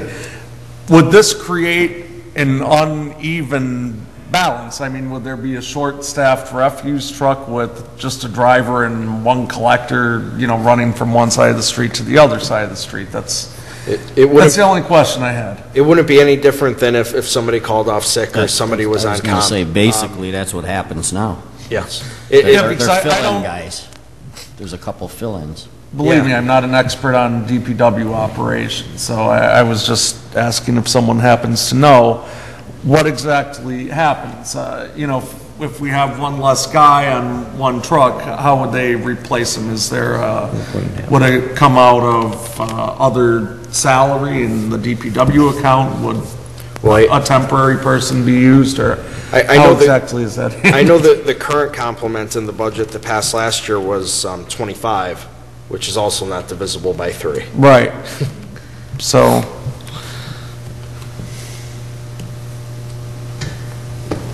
that's it. Costs and positions are growing everywhere. Um, Anyone else on the question? All those in favor signify by saying aye. Aye. Opposed? No. Oh, the ayes have it and so moved. I'm very sorry. I'd like to make a motion to amend proposed budget on page 62 in the Office of Economic and Community Development, eliminate the position of Support Service Specialist part-time, and decrease the funding of that position from $23,824 to $0, and decrease the Bureau of Administration total from $457,507.44 to $430,683.44. Second. On the question. Yes, uh, just, just a quick question. I'm sorry uh, for being so inquisitive. But um, is this position, is this someone that's retiring, or is this uh, I- I a believe- position that uh, Ms. Aebli suggested that is no longer needed, or? I believe this position is currently filled, but there are two full-time positions in OECD that are unfilled. Um, s- Okay. So the hope would be to have fill the full-time positions, eliminate the part-time position. Okay. Then I could support that. Anyone else on the question? All those in favor signify by saying aye. Aye. Aye, opposed? The ayes have it and so moved. I'd like to make a motion to amend the proposed budget on page 62 in the Office of Economic and Community Development, increase the funding for neighborhood police officers from $184,417.58 to $207,000, 200 $207,241.58. Second. On the question. All those in favor signify by saying aye. Aye. Opposed? The ayes have it and so moved. Flip the page. I'd like to make a motion to amend the proposed budget on page 50 in the Department of Business Administration, Bureau of Administration, increase the salary of the business administrator from $53,550 to $85,000. Second. On the question? On the question, the next five amendments will all be paid for by grants from DCED.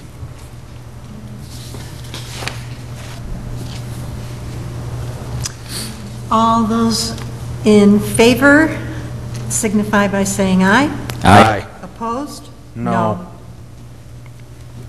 The ayes have it so moved. I'd like to make a motion to amend the proposed budget, also in the Department of Business Administration, Bureau of Administration, increase the salary of the finance manager from $37,400 to $50,000. Second. On the question. You know, I was just thinking, it's a good thing the mayor's salary was increased to $60,000 for next year, or you wouldn't be able to vote for any of these. Since, you know, Mr. Rogan had said no one should earn more than the mayor. So it's a very good thing we increased the mayor's salary. Um, Anyone else on the question? All those in favor signify by saying aye. Aye. Opposed? No. The ayes have it and so moved.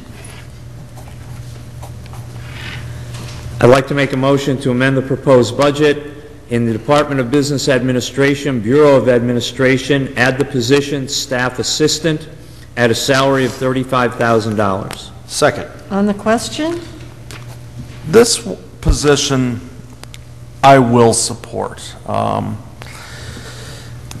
The business administrator's office, uh, I'll I'll be honest with you, we have made cuts there in the past, and I know they are uh, ver- Short-staffed. very late on audits and short-staffed, and, and I do believe that uh, there will be a lot of work that needs to be done in that office, and um, hopefully, um, our future mayor will find the right person to fill that position. Anyone else? All those in favor signify by saying aye. Aye. Opposed? The ayes have it and so moved.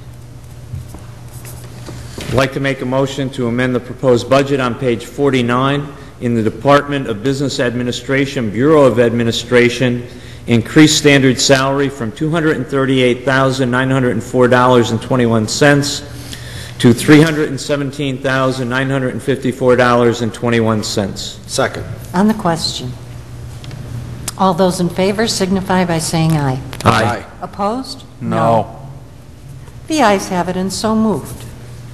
I'd like to make a motion to amend the proposed budget on page 49 in the Department of Business Administration, Bureau of Administration, change the total for business administration from $8,163,921.62 to $8,242,971.62.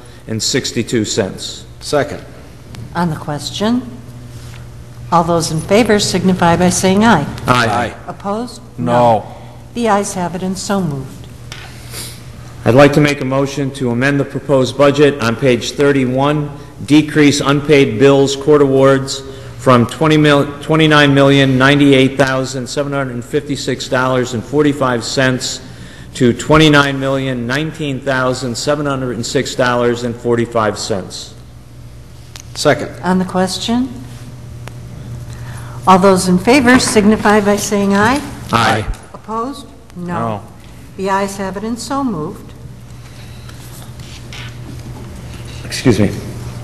I'd like to make a motion to amend the proposed budget on page 24, under rents and concessions, insert an account for cell phone tower leases for $18,000. The total for rents and concessions shall remain at $25,000. Second. On the question, all those in favor signify by saying aye. Aye. Aye. Opposed? The ayes have it and so moved.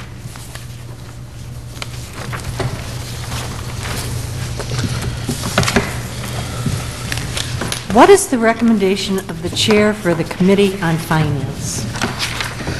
As chairperson for the Committee on Finance, I do not recommend final passage of item 7A. Second. On the question, Yes, um, I'll I'll just say the same thing. I I think I made my point clear before. I do not support a budget with the 55% tax, or 56% tax increase, 69% garbage fee increase, 25 cent raise in your meter rates, and a jack, uh, or a large spike in rental registration fees that also includes raises. I just want to add, this is what is called the lazy man's budget. Um, It, I'm sure, is a great delight to the Pennsylvania Economy League, who believes that tax increases are the one and only solution to the financial ills of every municipality. Um, I think it's far easier to just say, I'll increase your taxes.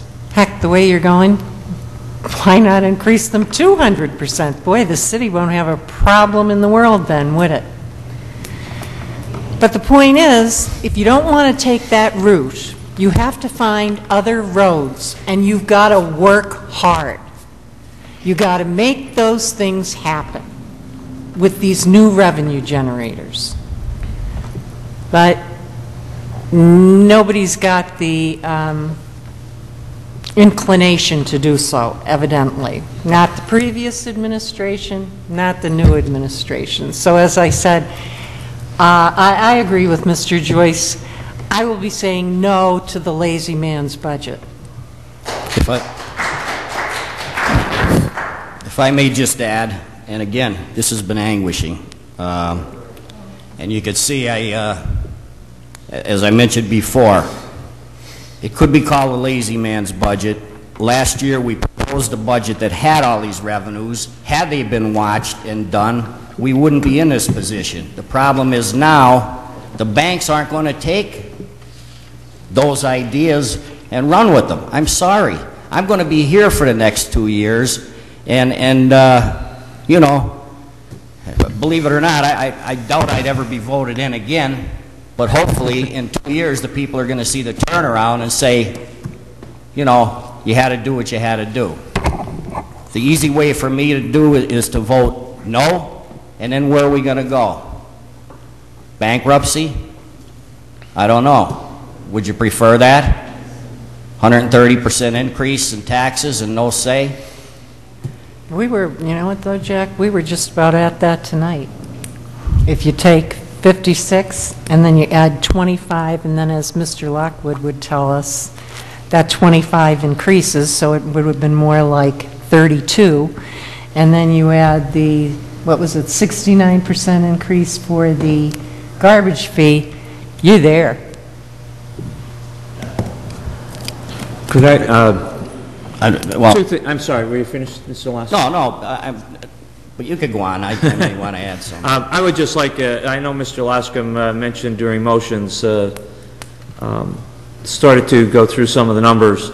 Um, If, if this were to pass, the average taxpayer would see an increase, this would be including the tax and the garbage fee increase, would see an increase of three, about $390. That's a little over a dollar a day. Okay? The total tax bill increase that they would realize would be somewhere around 20% of their total bill. So that somebody that was paying $1,000 in 2013 uh, in total taxes, that's city, county, school district, would now be, instead of paying 1000 would now be paying $1,200. Okay? Uh, And it would still leave us as the lowest taxing body in the, of all three taxing bodies. Um, I believe, and the other thing that I think should be mentioned, if we vote no to the, to these amendments and to the budget this evening, with the, with the proposals, that would automatically revert to, we would then automatically revert to the mayor's proposed budget, which would be the same dollar amount. It would not change anything. The tax increase would be the same, the garbage fee increase would be the same, rental registration would be the same, all of those things would be the same. So by voting, by voting to not approve the amended budget really doesn't accomplish, I don't think accomplishes anything. And while it may be seen as a lazy man's budget, uh, I think it's a lazy person's vote to vote against it because all we do is revert to the same thing that we had before us before. And Now, that let me ask so- this for a second. If you're saying no is a lazy man's vote, I wanted to ask you, why did you vote no last year on the budget? Mr. Joyce, I'm not going to argue over how I voted. I- I- somebody- I'm not saying that, I'm just, I'm just I'm saying just- it like it is. I guess I'm just being, uh, somebody used, called, you know, said a lazy man's budget.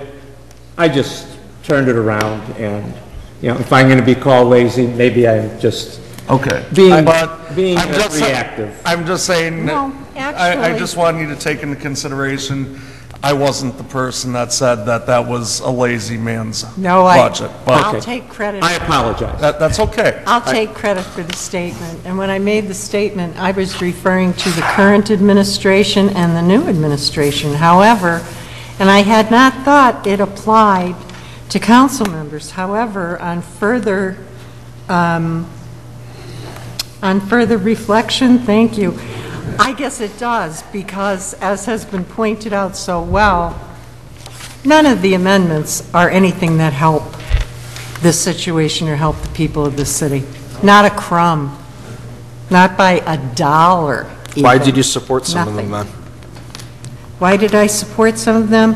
Because some of Um, them, you believe some of them were worthy.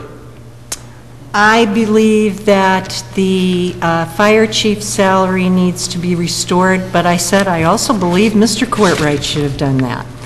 I'm supporting uh, something in um, the BA's office because I have believed that they have been understaffed Do I think they all need to make more money? No, I don't. Do I think they need more people? Yes, I do. And as you said, that money is coming through a grant. So it does do a little bit to help. Well, it gave, it gave somebody a job. But did it help? Did it help the people of the city? No. Well, I- I mean, when you look at, when you look at these amendments, and you compare them to the amendments made over the last three years,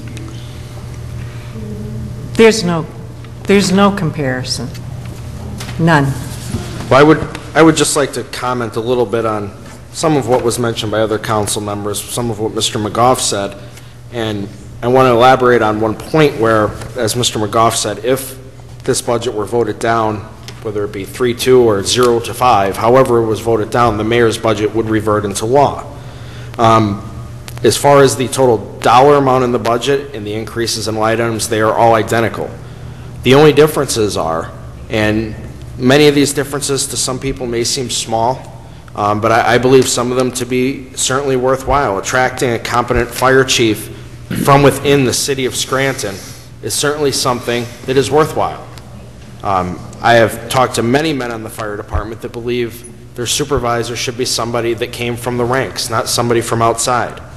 Regarding the business administrator's office, and as we stated before, these positions are coming as a, from a grant from the state. And it was just two years ago that our current business administrator lost over a million dollars of taxpayer funds.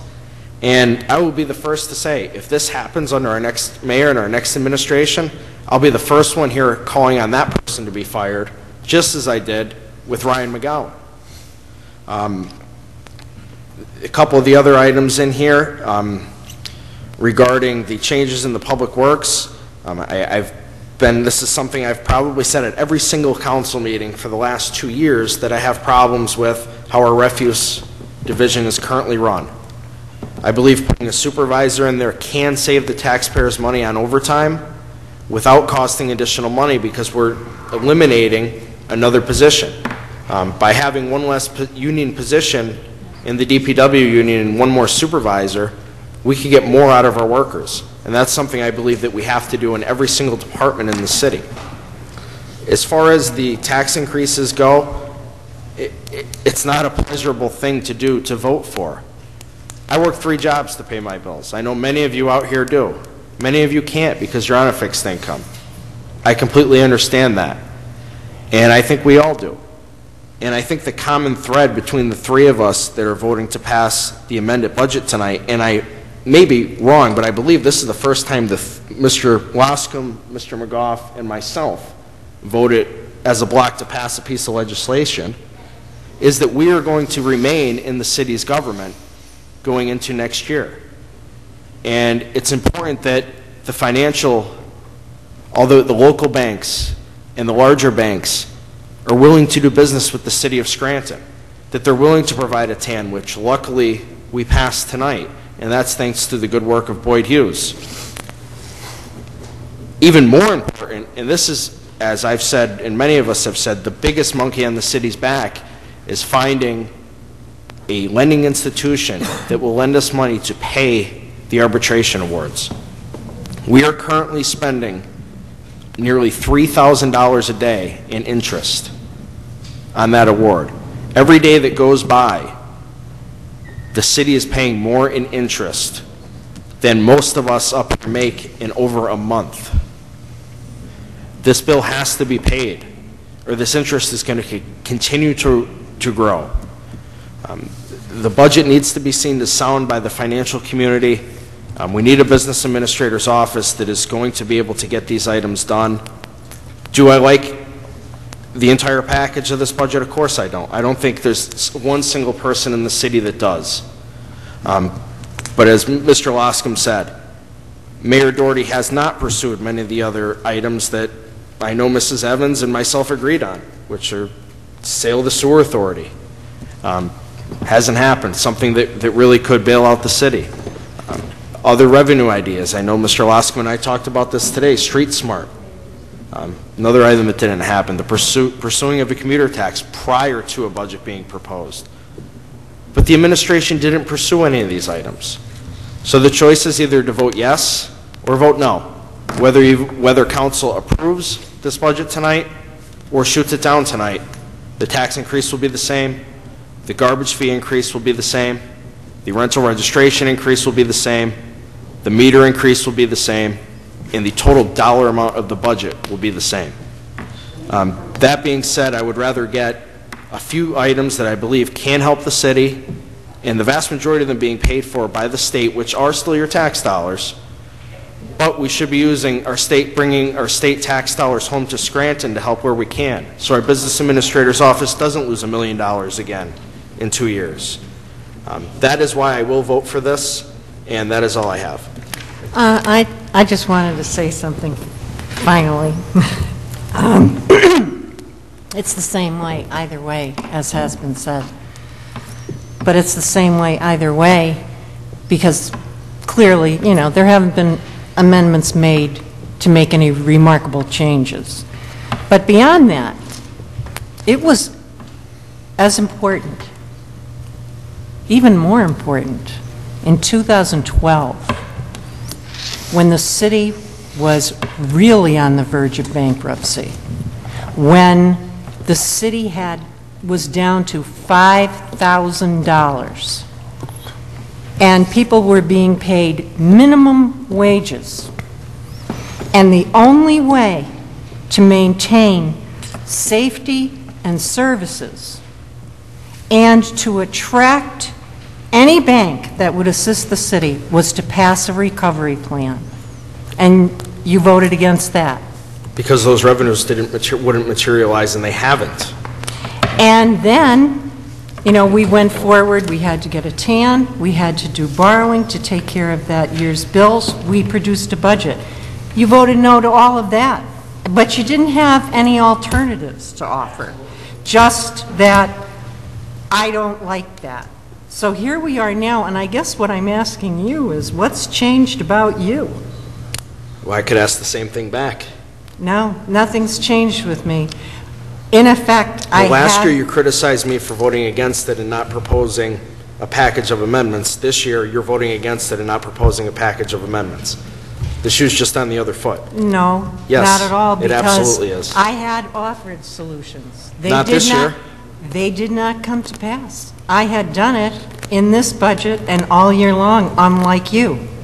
So, you know, I, I think there's got to be ownership.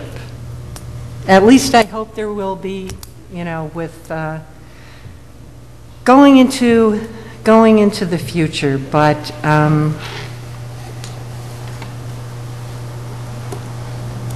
I guess I'll just end it. We can vote, and I'll say, uh, God help the people. Um, Might I just remind council members that Uh, Yeah, now, now it's been a while, so You I said- guess vote A is no- that you're agreeing with me and you're a voting a no no to vote, a no vote would be to approve the amended budget. A yes vote would be to defeat the amended budget. Correct. And I see, I see our newspaper reporter looking at, He's I mean, confused. like we have Just five heads. but reverse, just reverse. We'll the- explain it after the The meeting. traditional process. Roll call, please. Mr. McGoff? No. Mr. Rogan? No. Mr. Loscombe? No? Mr. Joyce? Yes. Mrs. Evans? Yes. I hereby declare that the, that item 7A, as amended, passes, Is approved. is approved.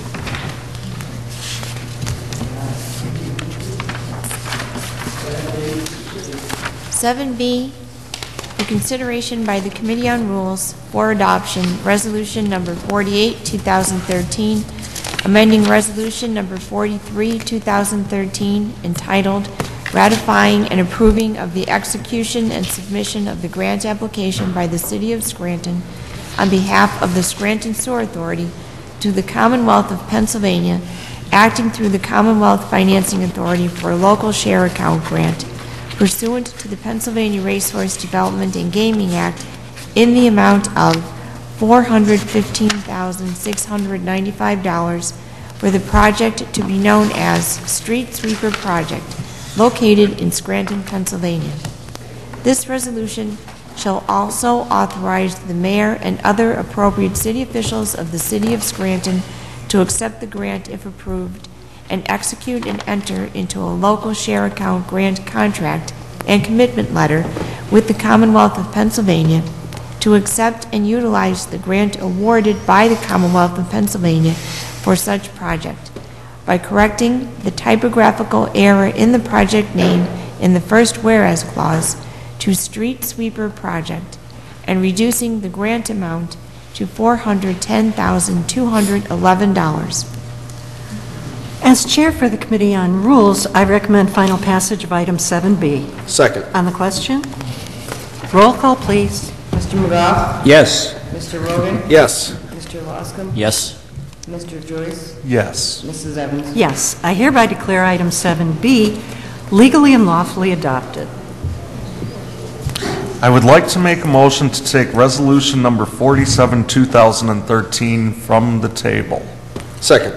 On the question, we had tabled this uh, piece of legislation during last week's meeting because council had not reached out to um, Mr. D'Antona to request a uh, resume.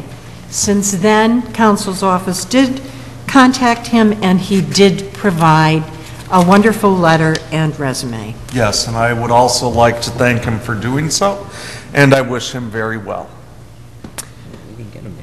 All those in favor signify by saying aye. Aye. Opposed? The ayes have it and so moved. 7C, for consideration by the Committee on Rules for adoption, Resolution Number 47, 2013, previously tabled. Appointment of Paul D'Antona, 333 North Sumner Avenue, Scranton, Pennsylvania, 18504, as a member of the Scranton Municipal Recreation Authority to fill the unexpired term of Thomas Smith, whose term is scheduled to expire June 17, 2016. As Chair for the Committee on Rules, I recommend final passage of item 7C. Second. On the question, roll call, please. Mr. McGoff? Yes. Mr. Rogan? Yes. Mr. Loscombe? Yes. Mr. Joyce? Yes. Mrs. Evans? Yes. I hereby declare item 7C legally and lawfully adopted. 7D, formerly 6A, for consideration by the Committee on Finance for adoption, filed with Council Number 56, 2013, authorizing the issuance and sale not to exceed $17 million principal amount, tax anticipation note of the City of Scranton, known as TAN Series 2014-A, awarded to IFS Securities, determining the form and term of said note, awarding said note, authorizing and directing the filing of certain documents, and directing the proper officials of the City of Scranton to take any and all other actions as may be required in connection with the issuance of said note. Emergency certificate attached. What is the recommendation of the Chair for the Committee on Finance? As chairperson for the Committee on Finance, I do recommend final passage of item 7D. Second. On the question, again, I think it's very important to acknowledge and thank uh, the great efforts of Mr. Michael Judge and Council Solicitor Hughes. Uh, We never gave up on the uh, attainment of a TAN. Uh, When others thought it was not going to happen, when Mr. Hickey um, of the League of Mercenaries came in last week to say that it would not happen, and it's something else that needed to be covered, we never gave up. And I, I thank those gentlemen immensely. Roll call, please. Mr. McGoff? Yes. Mr. Rogan? Yes. Mr. Loscombe? Yes. Mr. Joyce? Yes. Mrs. Evans? Yes, I hereby declare item 7D legally and lawfully adopted. On behalf of City Council, I'd like to wish everyone a very happy and blessed Christmas and a healthy, happy New Year. This meeting is adjourned. Thank you.